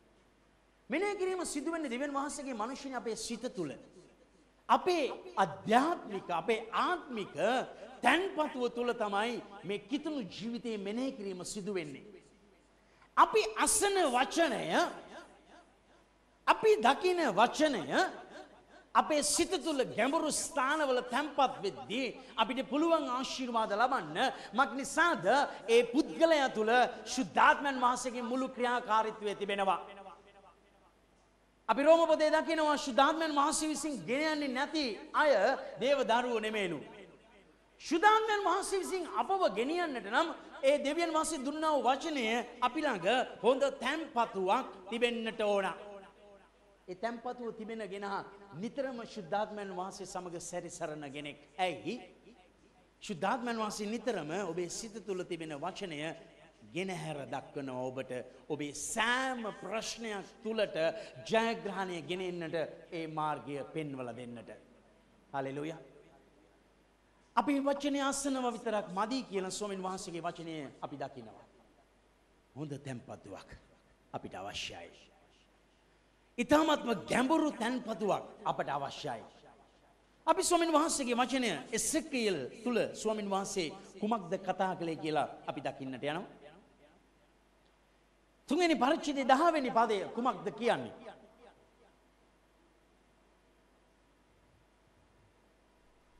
එසකියල් තුන්වෙනි පරිච්ඡේදයේ 10 වෙනි පදය තවද උන්වහන්සේ මට කතා කොට මනුෂ්‍ය පුත්‍රය නුඹට කියන මාගේ සියලුම වචන නුඹේ සිතේ තබා ගනින්න.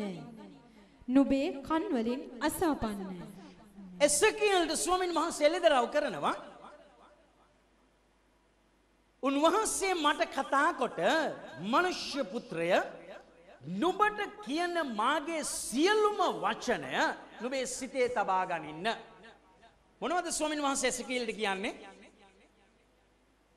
නුඹට කතා කරන සියලුම වචන මොන වචනද? දෙවියන් වහන්සේගේ වචන. මාව ඇහෙනවද ඔබට? මේ උදාහරණ ස්වාමින් වහන්සේ ඔබටද කියන්නට යනවා දෙවියන් වහන්සේගේ පුත්‍රය දෙවියන් වහන්සේ කතා කරන සියලුම වචන ඔබේ සිත්වල තිබෙන්නට ඕන. ඔබේ කන් වලින් අසන්නට ඕන.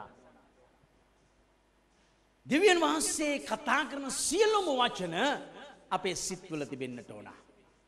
අපිට හොඳ තැම්පතුවක් ඕනද. අද දවසේ මනුෂ්‍යයි තැම්පතුව ගැන සලකන්නේ නැතුව බොහෝ අය මේ කනින් අහනවා අනිත් කනින් අයින් කරනවා මේ කනින් අහනවා මේ කනින් අයින් කරනවා. පයකට පමණක් සීමා වෙන මෙමරි කාඩ් එකක්. දවසකට පමණක් සීමා වෙන මෙමරි කාඩ් එකක්. ඒකේ ධාරිතාව මදි නිසා ඉතා කෙටි කාලයකින් දෙවියන් වහන්සේ කතා කරන මතකය වචනය මතකයෙන් ඔවුන් ඉවත් කරනවා. මං කියන එක ඔබට තේරෙනවද? අපි ඔක පරිගණක භාෂාවෙන් කතා කරොතින් හොඳ ධාරිතාවක් ඒ කියන්නේ හොඳ කැපැසිටි එකක් තියෙන හොඳ මෙමරි කාඩ් එකක් ඔබට අවශ්‍යයි. උසස් ධාරිතාවක් තිබෙන මතකයක් දෙවන් මාසගේ මනුෂ්‍යනේ ඔබට අවශ්‍යයි. ඒ අයට පුළුවන් වෙනවා අන්තිමය දක්වාම විශ්වාසවන්තව ජීවත් වෙන්නට.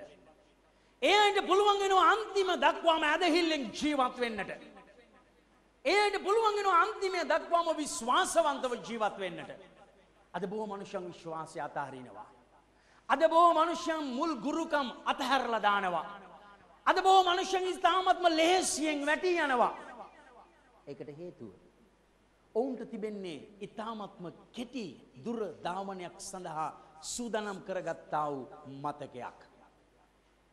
දෙවියන් වහන්සේගේ මනුෂ්‍යනේ ඔබ තුල ස්වාමින් වහන්සේ ලොකු වැඩක් පටන් අරගෙන තිබෙනවා. ස්වාමින් වහන්සේ ඔබ දිහා බලලා කිව්වේ ඔබට මෙහි පවතින නාගරිකත්වයක් නැහැ. ස්වර්ග රාජ්‍යයට ඔබව කැඳවලා තිබෙනවා. හලෙලූයා. ඒ ස්වර්ග රාජ්‍යයට යන්නට බොහෝ කාරණා මේ දවස්වලදී ස්වාමින් වහන්සේ ඔබට උගන්වමින් ඉන්නවා. ඇයි ඔබව සූදානම් කරන්නට ඕන නිසා. උන්වහන්සේගේ ඒ පාරාදීසයේ තිබෙනා වූ ජීවන වෘක්ෂයෙන් කන්නට ස්වාමින් වහන්සේ මේ දිනවලදී ඔබ සූදානම් කරනවා. අපිට දෙවියන් වහන්සේ කතා කරන හැම උපදේශයක් හැම අවවාදයක් ස්වාමින් වහන්සේගේ අභියස අපේ සිත්වල තිබෙන්නට ඕනා.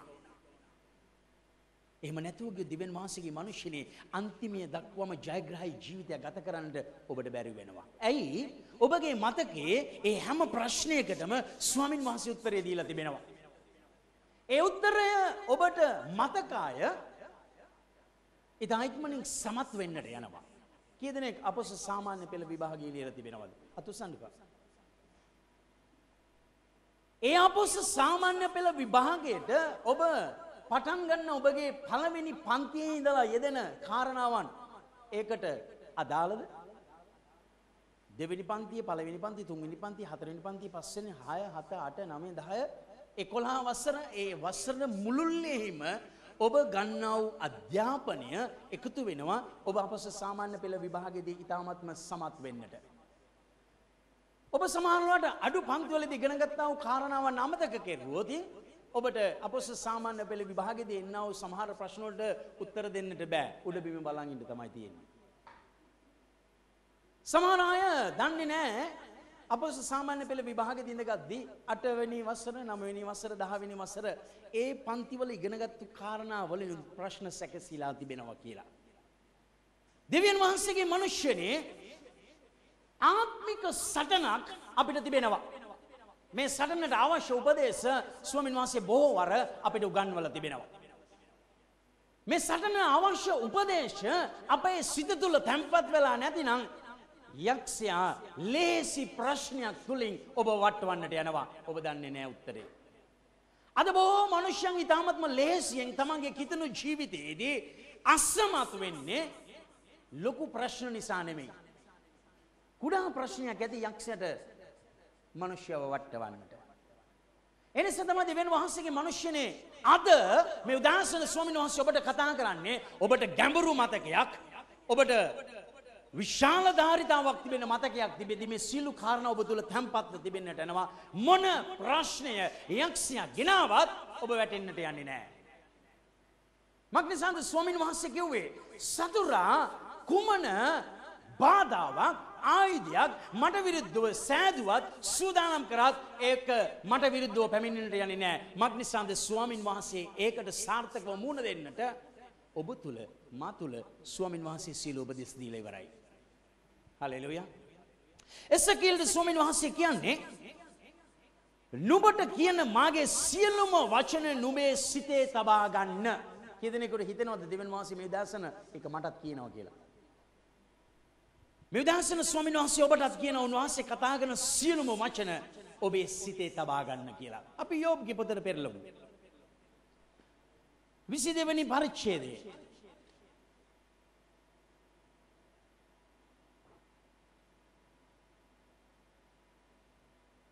විසි දෙවැනි පද.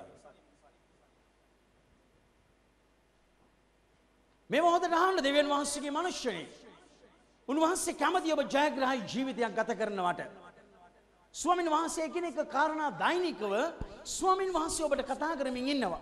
මොනවද උන්වහන්සේගේ වචනය අපි දකින්නේ විසි දෙවැනි පරිච්චේද විසි දෙවැනි පදේ. යෝබ් 22 වෙනි පරිච්ඡේදයේ 22 වෙනි පදය උන්වහන්සේගේ මුකෙන් ව්‍යවස්ථාව පිළිගෙන උන්වහන්සේගේ වචන නුඹේ හිතේ තබා ගනින්න. මේලිපස් තුළින් ස්වාමින් වහන්සේ කියනවා උන්වහන්සේගේ මුකයෙන් ව්‍යවස්ථාව පිළි අරගෙන උන්වහන්සේගේ වචන නුබේ සිතේ තබා ගන්න කියලා. මේක ලස්සනටම ඉංග්‍රීසි භාෂාවේ සමහර පරිවර්තනවල කතා කරනවා ගබඩා කරන්න කියලා. ස්ටෝ කරන්න කියලා. ස්වාමීන් වහන්සේගේ වචනය අපි මේ ස්ථානයේ දකිනවා උන්වහන්සේගේ වචන නුඹේ සිතේ තබා ගන්න කියලා. මේ තබා ගැනීම කාරණා දෙකක් තුල සිදු වෙන්නට පුළුවන්. తాවකාලික තබා ගැනීමක් සහ ස්ථීර තබා ගැනීමක්. මං කියන එක ඔබට තේරෙනවද? తాවකාලික තබා ගැනීමක්. ඒ කියන්නේ ට්‍රාන්ස්ෆර් වෙන්න. ඒ කියන්නේ ඉක්මනින් ඒක ගන්න. නමුත් ස්වාමින් වහන්සේගේ වචනේ මා මේ ස්ථානයේ දැක්කා ස්වාමින් වහන්සේගේ ආත්මයන් වහන්සේ උගන්වනවා මේවා අපේ සිතේ ගබඩා කරගන්නට ඕන. ගබඩාවක් කියන එකයි తాවකාලිකව තියෙන ස්ථානයක් කියන එකයි දෙකම එකද. ඔබ කඩවල් වලට ගිහිල්ලා තියෙනවා සුපර් මාකට් වලට කී දෙනෙක් ගිහිල්ලා තියෙනවද? ඔබ දන්නේ නැති වුණාද රාක්කේ තියෙන බඩු වලට වඩා ස්ටෝර් එකේ බඩු තියෙනවා. ආ, ඔබ දකින වෙළඳ පොලේ ඒ රාක්කවල තිබෙන්න වූ ප්‍රමාණයට වඩා ගබඩාවේ ආ, ඒ වගේ ගොඩක් ජාති තිබෙනවා. ස්වාමින් වහන්සේ අපිට කතා කරන්නේ මේක తాවකාලික රැඳුම් වගේ නෙමෙයි ස්ථීර ගබඩාවක් විශාල ගබඩාවක් ලෙස මාතු ධාරිතාවකින් යුතු ගබඩාවක් ලෙස අපි තබා ගන්නට ඕන. ඔබට තේරෙන්නට යයි ඉදිරියේදී ඔබ ආත්මිකව වැඩි දියුණු වෙද්දී මේ ගබඩාවේ ප්‍රමාණය වැඩිවීම ඔබගේ ජයග්‍රහණයට හේතු වෙන්නට යනවා කියලා. මොන හිඟකම ආවත් මොන නියඟේ ආවත් ඔබ හිඟ වෙන්නට යන්නේ නැහැ. මක් නිසාද ඔබේ තැම්පතුව ඉතා විශාලව තිබෙනවා. හලෙලුයා. ස්වාමීන් වහන්සේ කතා කරන්නේ එවැනි තැම්පතුවක් ඔබේ ජීවිතය තුළ ඔබ ගොඩනගන්නට ඕන කියලා. ස්වාමීන් වහන්සේ පැහැදිලි වනාගත වක්තුරුන් කතා කරනවා. බලව හානියක් එනම් කෑම පිපා කෑම කෑම හානියක්වත් ජලයේ පිපාසාවක් නොව වචනය දැනගැන්මේ පිපාසාත්මක කාලයක් නියඟ කාලයක් මනුෂ්‍යයන් මධ්‍යයට ඉදිරි කාලවල් වලදී එන්නට යනවා කියලා. ඔබ මේක කියවල තිබෙනවද? ඒ කාලවල් වලදී සාර්ථකව මූණ දෙන්නට දෙවියන් වහන්සේගේ මනුෂ්‍යනේ අපේ සිත නැමැති ගබඩාව ඊටා විශාලව තිබෙන්නට ඕන. මක් නිසාද වචනය දැනගැන්මේ හානිය එන්නම් ඒ දවස් ඉදිරි කාලවල් වලදී මනුෂ්‍ය පිටට පැමිණෙන්නට යනවා. ස්වාමීන් වහන්සේගේ වචනය අපි දකින්නේ උන්වහන්සේගේ වචන නුබේ සිතේ තබා ගන්නට ඕන. අපි හිතබ දෙස්ස පොතර පෙරලමු. හතරවෙනි පරිච්ඡේදයේ හතරවෙනි පදේ.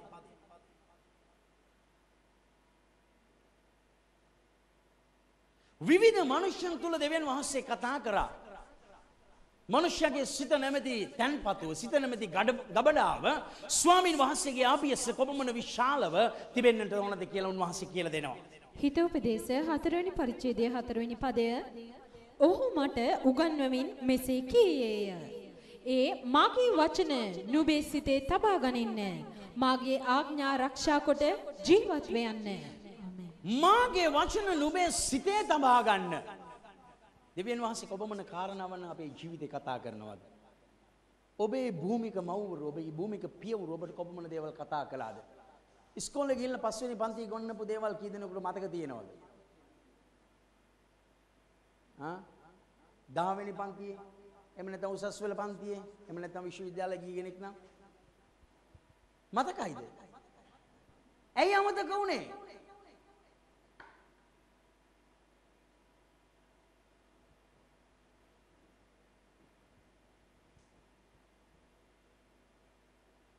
අදවස අමතක වෙලා.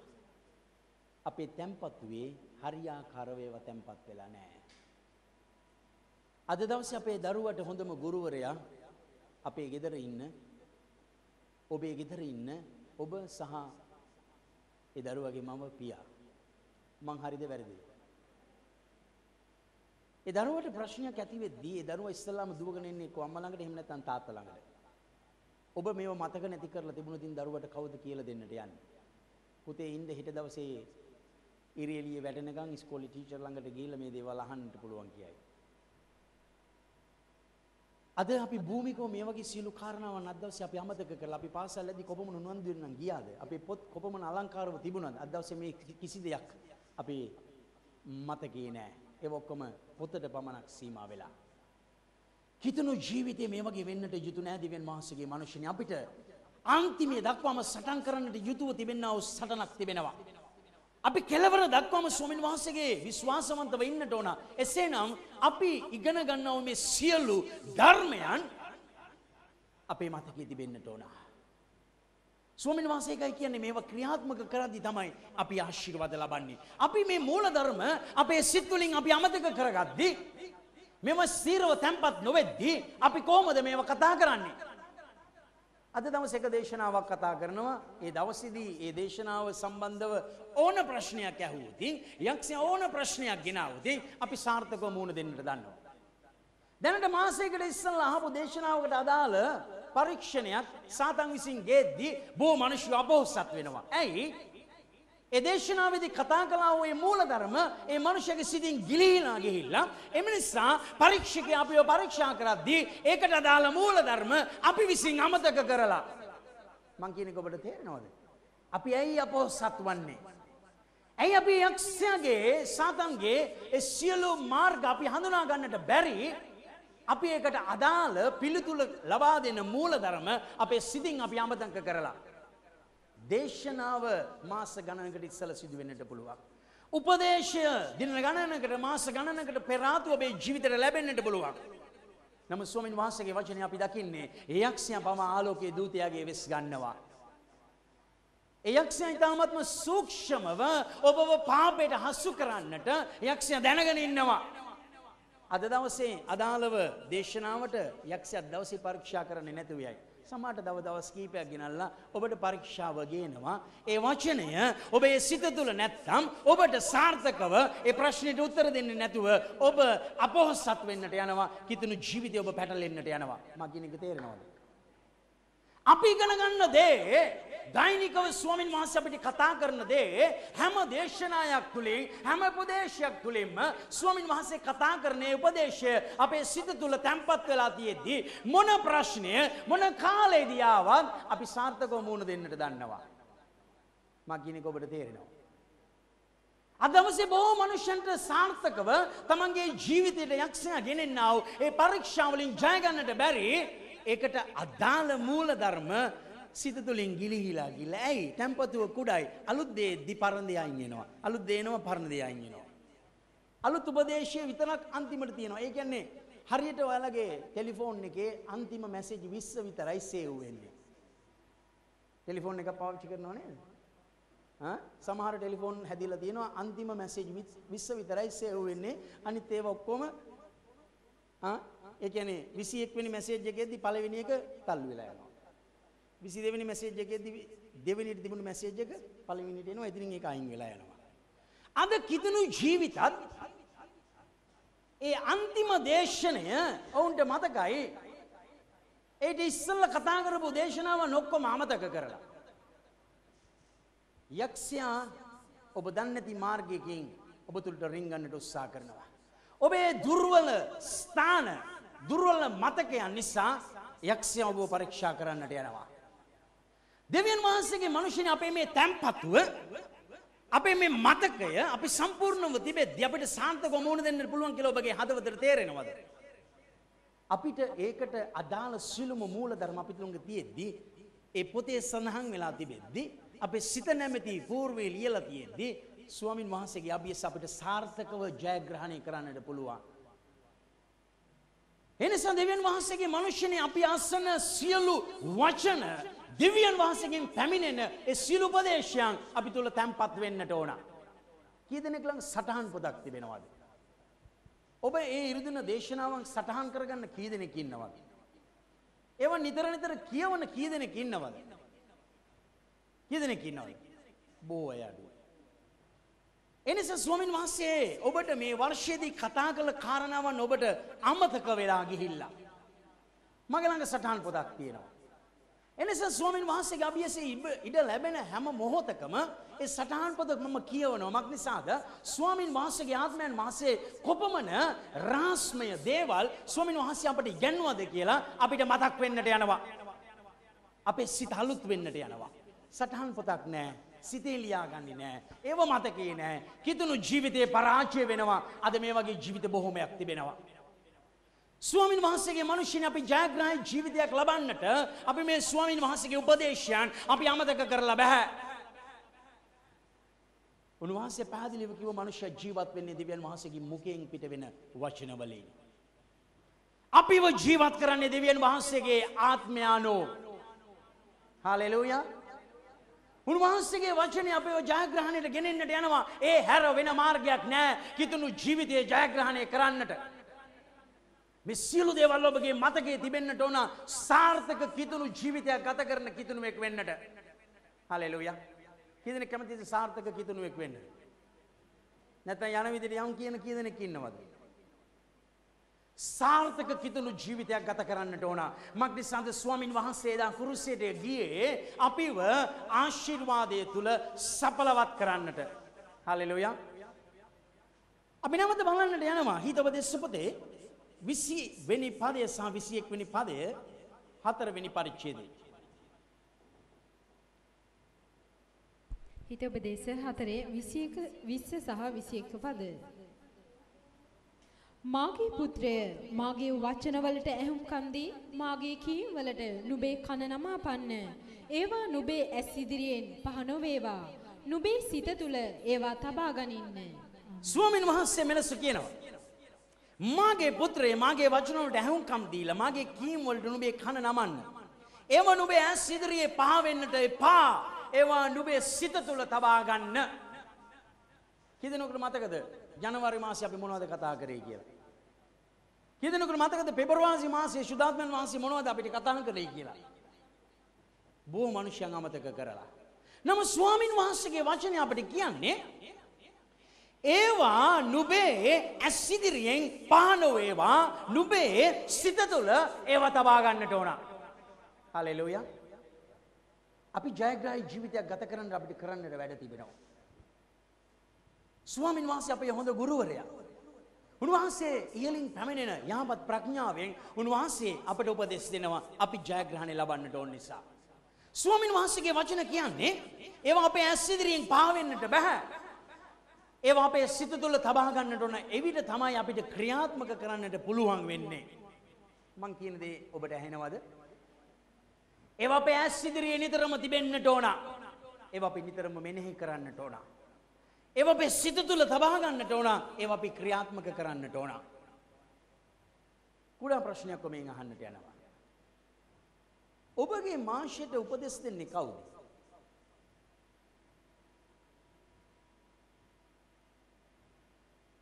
ඔබේ මාංශයට උපදෙස් දෙන්නේ කවුද?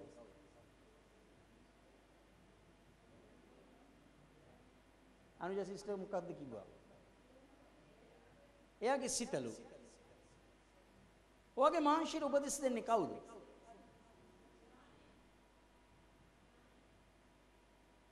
ප්‍රාණය කියලා ශානි සහෝදරිය කියනවා. හා? අනිත් අය තාම දන්නේ නැහැ. හා? පුදුමයිනේ. අපි දන්නේ අපේ මාංශයට අන අන කිරීම දෙන්නේ කවුද කියලා. කවුද? මම ඊයේ සවස යම්කිසි ලියවිලි හදාරගෙන ඉද්දී ස්වාමින් වහන්සේගේ අභියස ඒ බයිබලයේ කතා කරන්නව මේ සිත සහ ප්‍රාණය සමහර අවස්ථාවලදී එක අර්ථයක් ගෙනලා දෙනවා කියලා ඊයේ මම ඉගෙන ගත්තා. කීදෙනෙක් සිත කියන එක දැකලා තියෙනවද? ප්‍රාණය කියන එක දැකලා තියෙනවද? ආ?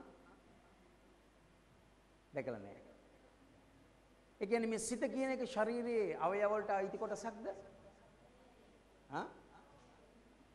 සිත කියන එක ශරීරයේ අවයවවලට අයිති කොටසක්ද? ආ? සිත කියන එක ශරීරයේ අවයවවලට අයිති කොටසක්ද? එහෙනම් ඒක පෙන්වන්න පුළුවන්ද? ඒ ශාරීරික අවයවයක් නම් ඔබට පෙන්වන්න පුළුවන්. අද දවසේ හොඳ වෛද්‍යවරු ඉන්නවා. හැම කේශ නාලිකාවක් පව එයාලා දකින්නට පුළුවන් අය. මම කියන තර්කය ඔබට තේරෙනවා.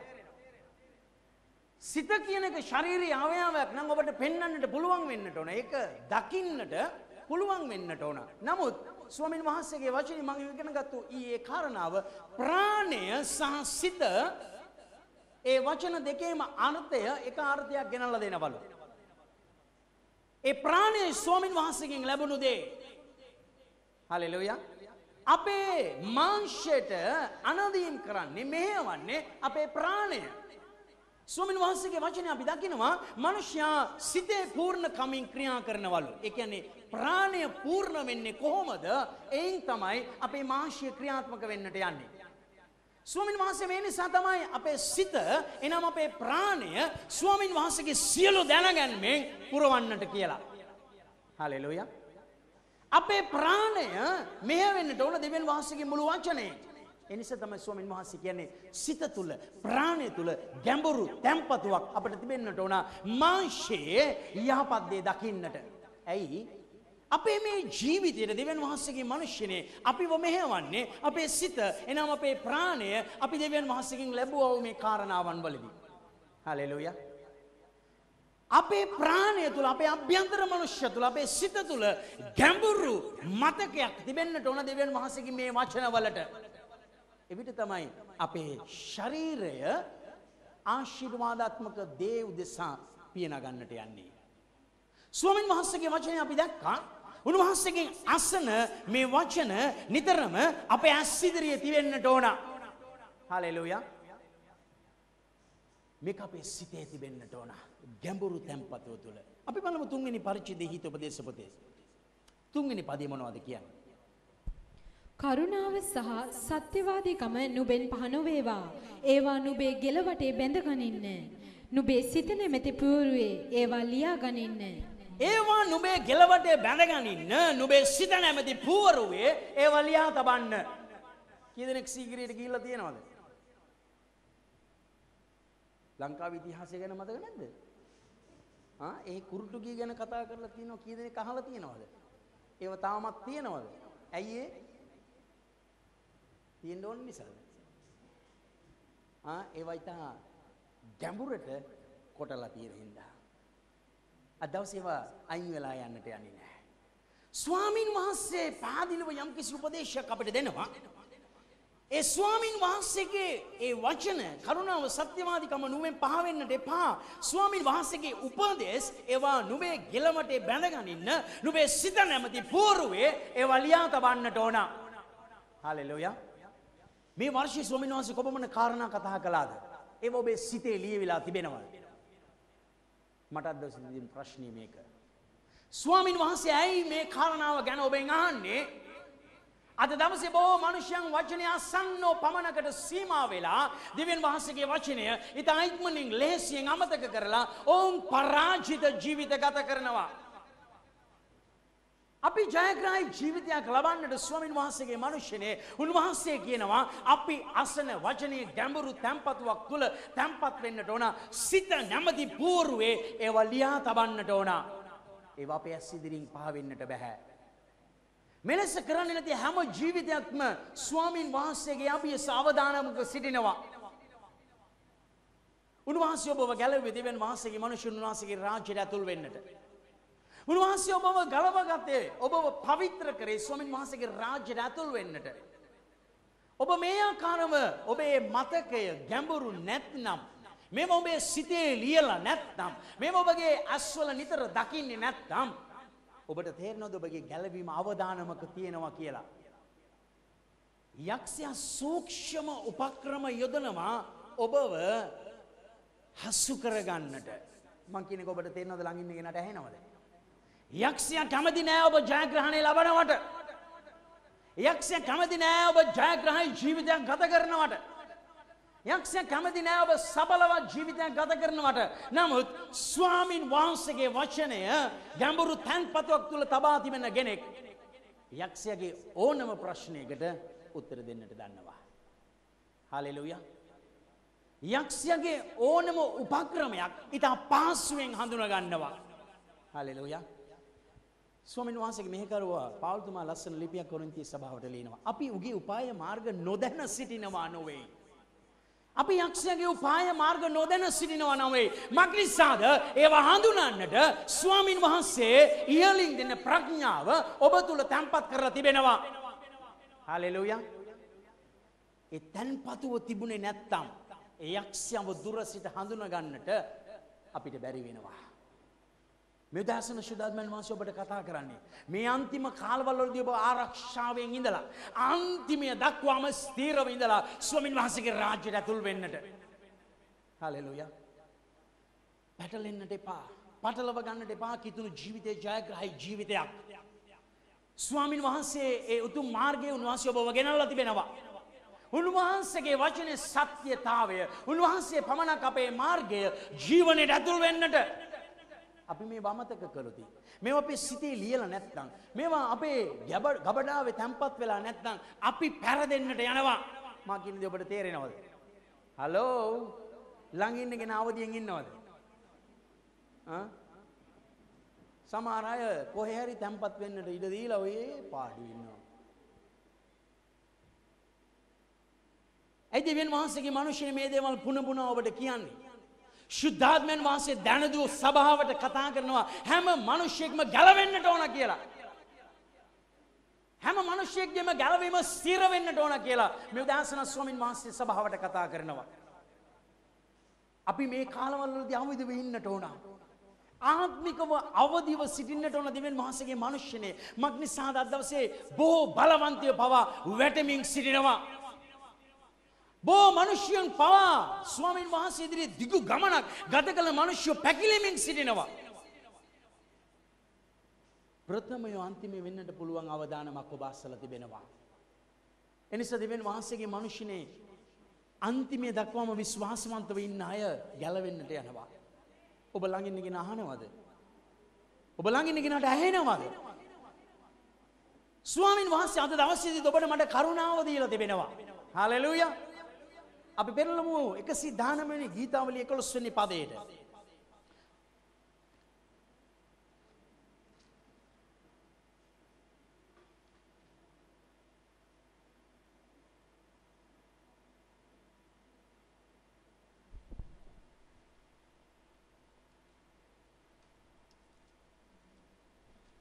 එකසිය දහනමවෙනි ගීතාවලියේ එකොළොස්වැනි පදය ඔබට විරුද්ධව පව් නොකරන පිණිස ඔබගේ වචනය මාගේ සිතේ නිදාන කරගතිමි.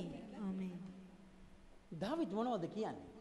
ස්වාමිනී ඔබට විරුද්ධව පව් නොකරන පිණිස ඔබගේ වචනේ මාගේ සිතේ නිදාන කරගතිමි. නිදානයක් කියන එක ගැන ඔබ අහලා තිබෙනවද? ආ? සාමාන්‍යයෙන් නිදානයක් කියන එක ඊටාත්ම ලෙහෙසින් ගන්නට පුළුවන් දෙයක්ද? ඇහුන්නේ ඒක ඊටාත්ම සුරක්ෂිතව කරන ලද තැම්පතුවක්. ඒක තමයි නිදානයක් කියලා ඒක විශේෂණ නාම පදයක් තුලින් අර්ථකථනය කරන්නේ. අද දවසේ මම ඔබගෙන් ප්‍රශ්නයක් අහන්නට එනවා ස්වාමින් වහන්සේගේ මිනිස්සුනේ. උන්වහන්සේ ඔබට ඉගැන්වූ ඒ සියලු මූලධර්ම සියලු උපදේශ ඔබ තුල නිදානයක් වගේ තැම්පත් වෙලා තියෙනවද? ස්වාමින් වහන්සේ මේ දාසන ඔබගෙන් අහමින් ඉන්නවා. උන්වහන්සේ කතා කළ සියලු වචන නිධානයක් වගේ ඔබේ සිත තුළ තිබෙනවද?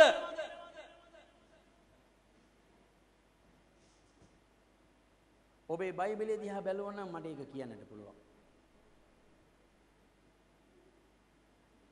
ඔබේ බයිබලේ දිහා බැලුවනම් ඔබේ දිව්‍යන් වහන්සේගේ වචනෙන් නිධානයක් ලෙස ඔබගේ සිත් තුළ තැම්පත් කරලා තියෙනවද නැද්ද කියලා ඒක මට කියන්නට පුළුවන්.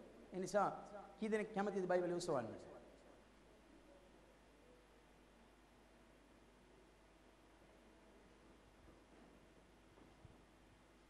දැන් මම ඔබගෙන් ප්‍රශ්නයක් අහනවා. මේ දාවිද් කියන ස්වාමීන් වහන්සේගේ වචනේ මම නිධානයක් වගේ මම ඒක තබා ගත්තා. ඒක ඉංග්‍රීසි පරිවර්තනයේ මම ඊයේ දැක්කා. ඒක රාස්‍ය දෙයක් වගේ මම තබා ගත්තලු. ඉංග්‍රීසි පරිවර්තන වල ඉතාමත් අලංකාර දේවල් අපි දකිනවා. ඒක විවිධාකාරයෙන් විග්‍රහ කරලා තිබෙනවා. මේ මේ ගබනා කිරීම, මේ නිධාන කිරීම රාස්‍යව තිබෙන්නට ඕන. කී දෙනෙක් ගෙදර සේෆ්ටි බොක්ස් එකක් එහෙම තියෙනවද? වටිනා දේවල් දාන්නට? ආ? ඔයාලා වැඩ කරන ස්ථානවල එහෙම දකින්නවද? දකින්න. ඒක යතුරු හැම කෙනෙකුටම දීලා තියෙනවා. ඒක ප්‍රසිද්ධ ස්ථානවල තියලා තියෙනවද? නැහැල්ලු එකේ අයිතිවත් කවුරු ළඟවත් නැහැල්ලු. නමුත් දෙවියන් වහන්සේගේ මිනිස්සනේ අපි ළඟ තිබෙන ගබඩාව, අපි ළඟ තිබෙන තැම්පතුව, දෙවියන් වහන්සේගේ වචනේ නිධානය අද දවසේ අපි කොහොමද තියලා තියෙන්නේ? ඒක අරලා බැලුවොත් සමහර වෙලාවට empty last message එක විතරයි save වෙලා තියෙන්නේ. මං කියන එක ඔබට තේරෙනවද? අන්තිම දේශනාව විතරක් බොහෝ ගබඩාවල ලොකු ඉබ්බෙක් දාලා වහලා තියෙනවා. ඒකත් මේ සතිය විතරයි අනිත් සතියේ මැසේජ් එක එනකන් ඒක ස්ටෝර් වෙලා තියෙනවා. අද දවසේ සැබෑ තත්ත්වය මේකයි දිව්‍යන් වහන්සේගේ මිනිස්සුනි අපි hina වෙනවා. නමුත් අපි දිහා යක්ෂය බලලා hina වෙනවා කියලා අපි තවම තේරුම් අරගෙන නැහැ. අපි දිහා යක්ෂය බලලා hina වෙනවා කියලා අපි තවම තේරුම් අරගෙන නැහැ. අපිට දුන්නු දෙවියන් වහන්සේගේ උපදේශකෝ අද දවසේ මේවා තැම්පත් වෙලා තිබෙනවද මේවා ගබඩා වෙලා තිබෙනවද මේවා නිධාන්ගත වෙලා තිබෙනවද අද දවසේ කීයෙන් කී දෙනාද දෙවියන් වහන්සේගේ මනුෂ්‍යනේ මේ නිධානය තර කරගනිමින් සිටින්නේ? මේ නිධානය ආරක්ෂා කරගනිමින් ඉන්නේ? මේ නිධානය ගැන සැලකිලිමත් වෙන්නේ? බෝ අය අසන්නෝ පමණයි. අද දවසේ කිතුණු සභාවට වෙලා තියෙන පරිහානිය මේකයි. අද ලෝකේ කොතනක සිටියත් ඒ මනුෂ්‍යයන් අද දවසේ තාමත්ම ඉක්මලින් ඔවුන්ගේ කිතුණු ජීවිතේ පැටලෙන්නේ පටලවිලා ඔවුන් පස්සුමට වෙන්නේ ඔවුන්ගේ තැම්පතු අඩුයි. ඔවුන්ට දෙවියන් වහන්සේ දුන්නා වූ මූලධර්ම ඔවුන්ගේ ජීවිතෙන් ගිලිහිලා ගිහිල්ලා ඒ ප්‍රශ්නවලට මුහුණ දෙන්නට ඒ අවස්ථාවේදී කාරණා තමන්ගේ සිත තුල නෑ. ප්‍රශ්නයක් වෙද්දී බොහෝ වෙලාවට අපි අහනවා අනේ ස්වාමිනේ ඔබ කොහෙද? ස්වාමින් වහන්සේ කියන්නට යන්නේ නැද්ද? ස්වාමින් වහන්සේගේ දරුව ඔබට මේ සීලු කාරණාවලට උත්තර දුන්නා. ඔබ දැන් මේ ස්ථානයේදී කිව්වා ඔබ සාමාන්‍ය පෙළ උසස් පෙළ විභාග වලට ඉඳගත්තා කියලා. එතනදී ඇතුළත් වෙන ඒ ප්‍රශ්න පත්‍රයේදී ඇතුළත් වෙන ඕනෑම ගැටලුවක් ලෙහෙසි වෙන්න පුළුවන් අමාරු වෙන්නට පුළුවන් ඔබේ ඒ පාඩම උගන්වපු ගුරුවරයා එස්සන් දෙන්නට යනද ඔබට කාරණා කියලා දෙන්න? ආ? ඒ ටීචර් කොච්චර ආදරයක්ද ඔයාට? ඒ ගුරුවරයා හොඳම ළමයා කියලා ඔයාට කියන්නට ඇති.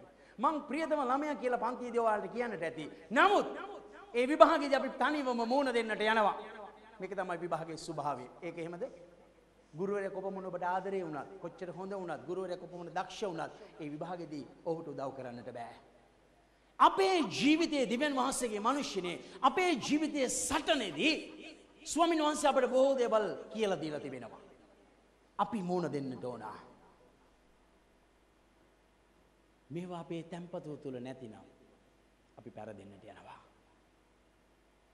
අපි දෙවියන් වහන්සේගේ මිනිස්යන් හැටියට මේ ගැන ඊටාත්ම සැලකිල්ලෙන් අපි බලන්නට ඕන.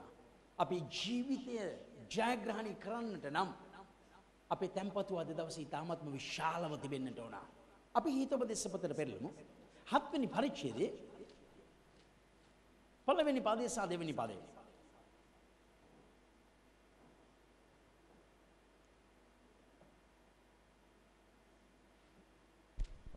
හිත උපදේශ හත්වැනි පරිච්ඡේදයේ පළවෙනි පදේ සහ දෙවෙනි පදය අනාචාරී ස්ත්‍රීගේ මරණීය උපා. මාගේ පුත්‍රය මාගේ කීම් රක්ෂා කොට මාගේ ආඥා නුඹ වෙත තබා ගනින්නේ. මාගේ ආඥා පවත්වා ජීවත්ව යන්න. මාගේ උපදෙස්ද නුඹේ එසේ කලුරුවාවුමෙන් රක්ෂා කරපන්න. මාගේ පුත්‍රය මාගේ කීම රක්ෂා කොට මාගේ ආඥා නුඹ වෙත තබා ගනින්න. මාගේ ආඥා පවත්වා ජීවත්ව යන්න. මාගේ උපදෙස්ද නුබේ අසේ කලුරුවමෙන් ආරක්ෂා කරපන්න. අද දවස මෙවන් සලකිල්ලක් ඔබ අසන වචනය ගැන ඔබ අසන දේශනය ගැන ස්වමින් වහන්සේගේ ආත්මයන් වහන්සේගේ එලිදරව්ව ගැන අද අපේ ජීවිතවල තිබෙනවද කියලා අපි සොයල බලන්නට යුතුයි. ස්වමින් වහන්සේ සබවිම කතා කරේ උන්වහන්සේගේ උපදේශ අපේ අස්සේ කළුරුවමෙන් අපි ආරක්ෂා කරන්නට ඕන. අද මොන ස්ථානයක්ද අපි මේ කාරණවලට අපේ ජීවිතයට තබල තිබෙන්නේ. සමහර වෙලාවට අද දවසේ ගෙදර ගියන් පස්සේ බයිබලේ දාන තැනින් ලබන ඉරිදා දෙවස්ථානට එද්දි අරගෙනන්න බොහෝ මනුෂ්‍යයෝ අදවස කිතුුණු සභාව තුළ ඉන්නවා. මම කියන දෙක ඇහෙනවදට. අද දේව මෙහි අවසන් වෙලා තමන් ගෙදර ගිහිල්ලා බයිබලයේ දාන තැනින් ලබන ඉරුදින දෙවස්ථානයට එන්න ලෑස්ති වෙදී බයිබලයේ හොයන කිතුණු ජීවිත අද බොහෝමයක් කිතුණු සභාවන් තුල ඉන්නවා. ස්වාමින් වහන්සේගේ වචනය අපිට කුමන මඟ පෙන්වීමක්ද දෙන්නේ උන්වහන්සේගේ උපදේශය අපි කොපමණ ආරක්ෂා කරන්නට ඕනද කියන කාරණාව ගැන අද බෝ කිතුණු මනුෂ්‍ය අසාර්ථක වෙලා ඉන්නේ පැරදිලා ඉන්නේ යක්ෂයාගේ වාල්ලු වෙලා ජීවත් වෙන්නේ ස්වාමීන් වහන්සේගේ උපදේශවලට දීලා තිබෙන ස්ථානය නිසයි දෙවියන් වහන්සේගේ මනුෂ්‍යනේ. උන්වහන්සේ අපිට කියන්නේ අපේ ඇසේ කළුරුව වගේ අපි ආරක්ෂා කරන්නට ඕන. අපි අපේ දරුවන් ගැන කියන්නේ එයාලා අපේ ඇස් වගේ කියලා. ඒ කියන්නේ අපි ඒට ගොඩක් උසස්ථානයක් අපේ ජීවිතවල දීලා තිබෙනවා. ස්වමින් වහන්සේ උන්වහන්සේගේ වචනයට කියලා තියෙන්නේ අපේ ඇසේ කළුරෝ වගේ අපේ වචනේ අපි ආරක්ෂා කරන්නට ඕන. ඒ අය දෙවියන් වහන්සේ ඉදිරියේ ජයග්‍රහණ කරන්නට යනවා. අපි බලමු 119 වෙනි ගීතාවලියේ දෙවෙනි පදය. මේ දේවල් ස්වාමින් වහන්සේ මේ උදාහරණ ඔබට කතා කරන්නේ. ඔබ තවමත් පෙරදීලා නැහැ. ඔබට ළඟ ඉන්න කෙනාට ඇහෙනවද? ඔබ තවමත් පැරදිලා නෑ ස්වමින් වහන්සිදිරේ ජයග්‍රහණය ලබන්නට මේ උදාසන ස්වමින් වහන්සේගේ මේ වචනය අසන්න ඔබ අද දවසේ වාසනාවන්තයි. උන්වහන්සේ අද මේ වචනය අසන්නට උන්වහන්සේ ඔබට ඉඩ දුන්න උන්වහන්සේගේ සභාවයක් දවස ඔබ ඉන්නවා. ඔබ කොබමන වාසනාවන්තද කියලා දන්නවද? ඒ අකීකරු පුත්‍රයා අන්තිමේදී නතර වුණේ ඌරන් හැදෙන ස්ථානයක. ඔහුට කන්න වුණේ ඌරන් කන්නා වූ කෑම. නමුත් අද දවසේ ස්වාමින් වහන්සේ ඉදිරියේ ඔබ වාසනාවන්ත කෙනෙක්. ඔබේ ජීවිතයේ හසු නොවන පිණිස ස්වාමින් වහන්සේ අද දවසේදී මේ වචනය අසන්නට උන්වහන්සේ ඔබට භාග්‍යයක් දීලා තිබෙනවා. උන්වහන්සේ ඔබට කරුණාව දීලා තිබෙනවා. මක් නිසාද ස්වාමින් වහන්සේ ඔබට තවමත් ආදරේ කියලා මගේ ආත්මයට කතා කරනවා. එලෙස ස්වාමින් වහන්සේ මේ උදාසනත් අද දවසේ ඔබට කතා කරන්නට උන්වහන්සේගේ වචනය අසන්නට උන්වහන්සේ වෙලාව සාදලා දුන්නා. අපි බලමු. 119 වෙනි ගීතාවලියේ දෙවෙනි පදේ. උන්වහන්සේගේ ශික්ෂා පවත්වන්නා වූ මුළු සිතින් උන්වහන්සේ සොයන්නා වූ තැනැත්තෝ භාග්‍යවන්තයෝය. උන්වහන්සේගේ ශික්ෂා පවත්වන්නා වූ මුළු සිතින් උන්වහන්සේ සොයන්නා වූ තැනැත්තන් භාග්‍යලත් අය. මුළු සිතින් උන්වහන්සේව සොයන අය භාග්‍යලත් මනුෂ්‍යෝ. උන්වහන්සේගේ ශික්ෂාවන් පවත්වන අය. අපේ සිත තුළ මේ තැන්පතුව නැත්නම් කිසි ශික්ෂාවක් පවත්වන්නට අපිට ඉඩක් නෑ. අපි දන්නේ නෑ. ස්වමින් වහන්සේගේ අභියස උන්වහන්සේ සොරකම් නොකරව කියන පනත ඔබ මේට ඉස්සලා අහලා තියෙනවද? අහලා නැද්ද? දසමනත කියලා නැද්ද? සොරකම් කරන්නට එපා කියලා. දැන් සොරකම් කරන්නට යද්දී ශුද්ධාත්මන් වහන්සේ ඔබගේ හද තුළ පණිවිඩයක් දෙන්නේ නැද්ද? පුත්‍රයා, දියණිය, සොරකම් කිරීම දෙවියන් වහන්සේ ඉදිරියේ පාපය කියලා. මේ වචනේ අසලා තියෙන නිසා ශුද්ධාත්මන් වහන්සේගේ පණිවිඩය තේරෙනවා. එහෙමද? එහෙමද? මේ වගේම දෙවියන් වහන්සේගේ මනුෂ්‍යනේ සියලු කාරණා සම්බන්ධව ශුද්ධාත්මයන් වහන්සේගේ එළිදරව්ව අපේ සිතට දැනෙන්නට අපි සියලුම ශික්ෂාවන් පවත්වන්නට සියලු මූල ධර්ම අපේ සිත තුළ තැන්පත් වෙලා තියෙන්නට ඕන. හලෙලුයා. උන්වහන්සේගේ මේ කරුව මේ ස්ථානයේ කියන්නේ උන්වහන්සේගේ ශික්ෂා පවත්වන්නා වූ මුළු සිතින් උන්වහන්සේව සොයන්නා වූ අය භාග්‍යලත් අය. හලෙලුයා. එනිසා මේ උදාසන ශුද්ධාත්මයන් වහන්සේ ඔබට කියනවා. උන්වහන්සේගේ වචනයට මුල් තැන දෙන්න. ඒ ඔබගේ සිතේ පිරෙන්න තියෙන්නට අද දවසේ මනුෂ්‍යන්ගේ සිත එළියට අපි හැලුවොතින් තියෙන්නේ ගොඩක් ලෞකික කුණු. එහෙම නෙමෙයිද? අද දවසේ අපේ සිත් පිරීලා තිබෙන්නේ මේ ලෞකික ආශාවන් බලාපොරොත්තු අරමුණු. අපි ගොඩනගන්නට සූදානම් කරලා තිබෙන මේ භූමික දේවල්. අදවසේ සිත තුළ තිබෙන්නේ ගේ හදන්නට ඕන, ඉඩමක් ගන්නට ඕන, අරක කරන්නට ඕන, මේක කරන්න ඕන. ආහා. බොහෝ දේ කාරණා. ස්වාමීන් වහන්සේ කියන්නේ උන්වහන්සේගේ රාජ්‍යම සොයන්න ඉතුරු දේවල් ස්වාමීන් වහන්සේ දෙනවා. එහෙනම් ඔබේ සිතේ මගේ සිතේ අදවසේ පිරෙන්නට ඕන මොන කාරණාද? ස්වර්ගික කාරණා. ඉතුරු දේ ස්වාමීන් වහන්සේ දෙනවා කියලා පොරොන්දු වෙන ස්වාමීන් වහන්සේ ඉදිරිය අදවසේ අපි ගායනා කරා. දෙවිඳු සොයන මට කිසි යහපත් දෙයකින් අඩු වෙන්නට යන්නේ නැහැ. උන්වහන්සේ කිව් දේ මට සිදු වෙන්නට යනවා නිසා ඒ නිසා මම බය වෙන්නට යන්නෙත් නෑ. දෙවිඳු කිව් දේ දෙවිඳුන් සපයයි එහි සැකියක් මට නෑ කියලා ඔබ කිව්ව නේද? හලෝ මං අහගෙන මං පිටිපස්සේ ඔක්කොම කට්ටියව දැක්කා. ඔබ ගායනා කරන දෙවිඳු සොයන මට කිසි යහපත් දෙයකින් හිඟ වෙන්නට යන්නේ නෑ. දෙවිඳු කිව් දේ දෙවිඳු සපයයි එහි සැකයක් මට නෑ කියලා. ඒ අය දෙවන් වහන්සේගේ මනුෂ්‍යනේ ස්වාමින් වහන්සේගේ රාජ්‍යම සොයන්නට ඕන. ඉතුරු දේවල් ස්වාමින් වහන්සේ දෙනවා. මකින්ද විශ්වාස කරනවද. ඔබ විශ්වාස කර ස්වාමින් වහන්සේගේ මහිමය දකින්නට යනවා. හලෙලුයා. එනිසා මේ වෙලාවේදී ඔබේ සිතේ තිබෙන්නේ ඔබගේ භූමික ගොඩනැගීම නෙමෙයි. ස්වාමින් වහන්සේගේ රාජ්‍යයට අදාළ වූ සියලු කාරණා.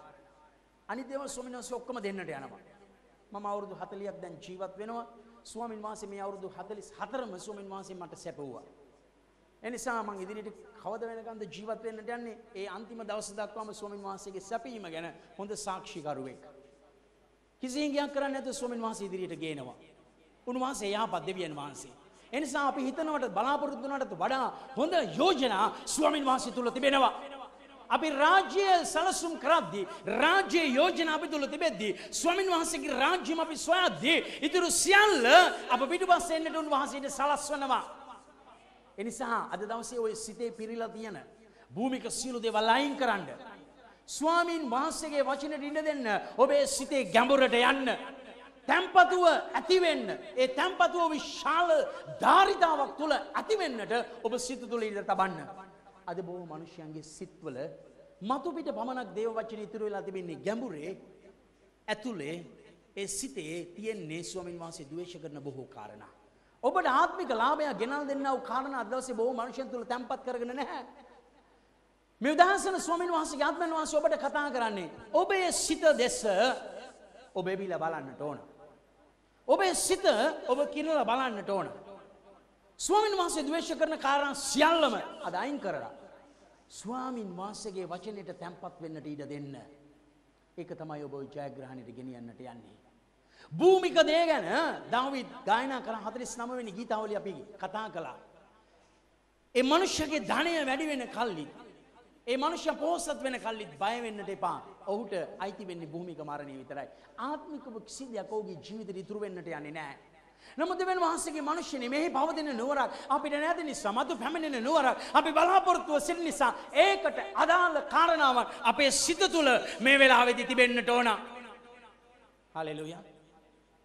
ඔබ සයිප්‍රස් වලට එද්දී ටිකක් හරි සයිප්‍රස් භාෂාව ඉගෙන ගන්නට ආස වෙන්නට ඇති. එහෙම නේද? එහෙම නැත්නම් ඉංග්‍රීසි භාෂාව ඔහු කුමන ප්‍රමාණයකින් ඔහු හදාරන්නට ඇති. අද දවසේ ඔබේ භාෂාවේ මේ දේශයේ වැඩක් තියෙනවද? ආ ඔබේ රැකියාවට උදව් කරන්න යයිද? මම එක දවසක් මගේ ස්වාමි දිනේට මම සිංහලෙන් කතා කරා මට මතක නෑ. මම කතා කරේ සිංහලෙන් කියලා එයා මගේ මූණ දිහා බලන්නේ.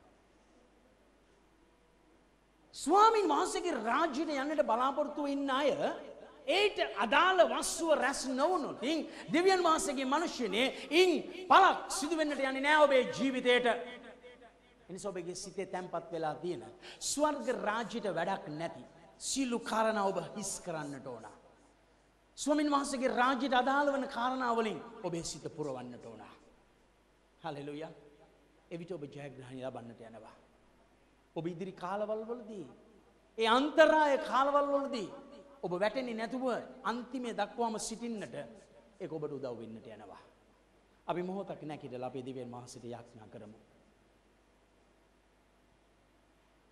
මා විශ්වාස කරනවා අද දවසේදී ස්වාමීන් වහන්සේගේ වචනය තුල උන්වහන්සේ ඔබ ආශිර්වාද කරා. උන්වහන්සේ ඔබට කතා කරමින් සිටියා.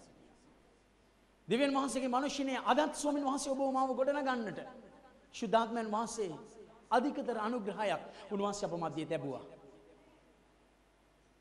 අපි මොහොතක් නැගිටලා අපගේ ඇස් දෙක වහලා උන්වහන්සේගේ මෙහි කරෝ තුළ ශුද්ධාත්මයන් වහන්සේ කතා කළ කාරණා මැද්දේ ඔබට කතා කළේ කුමක්ද?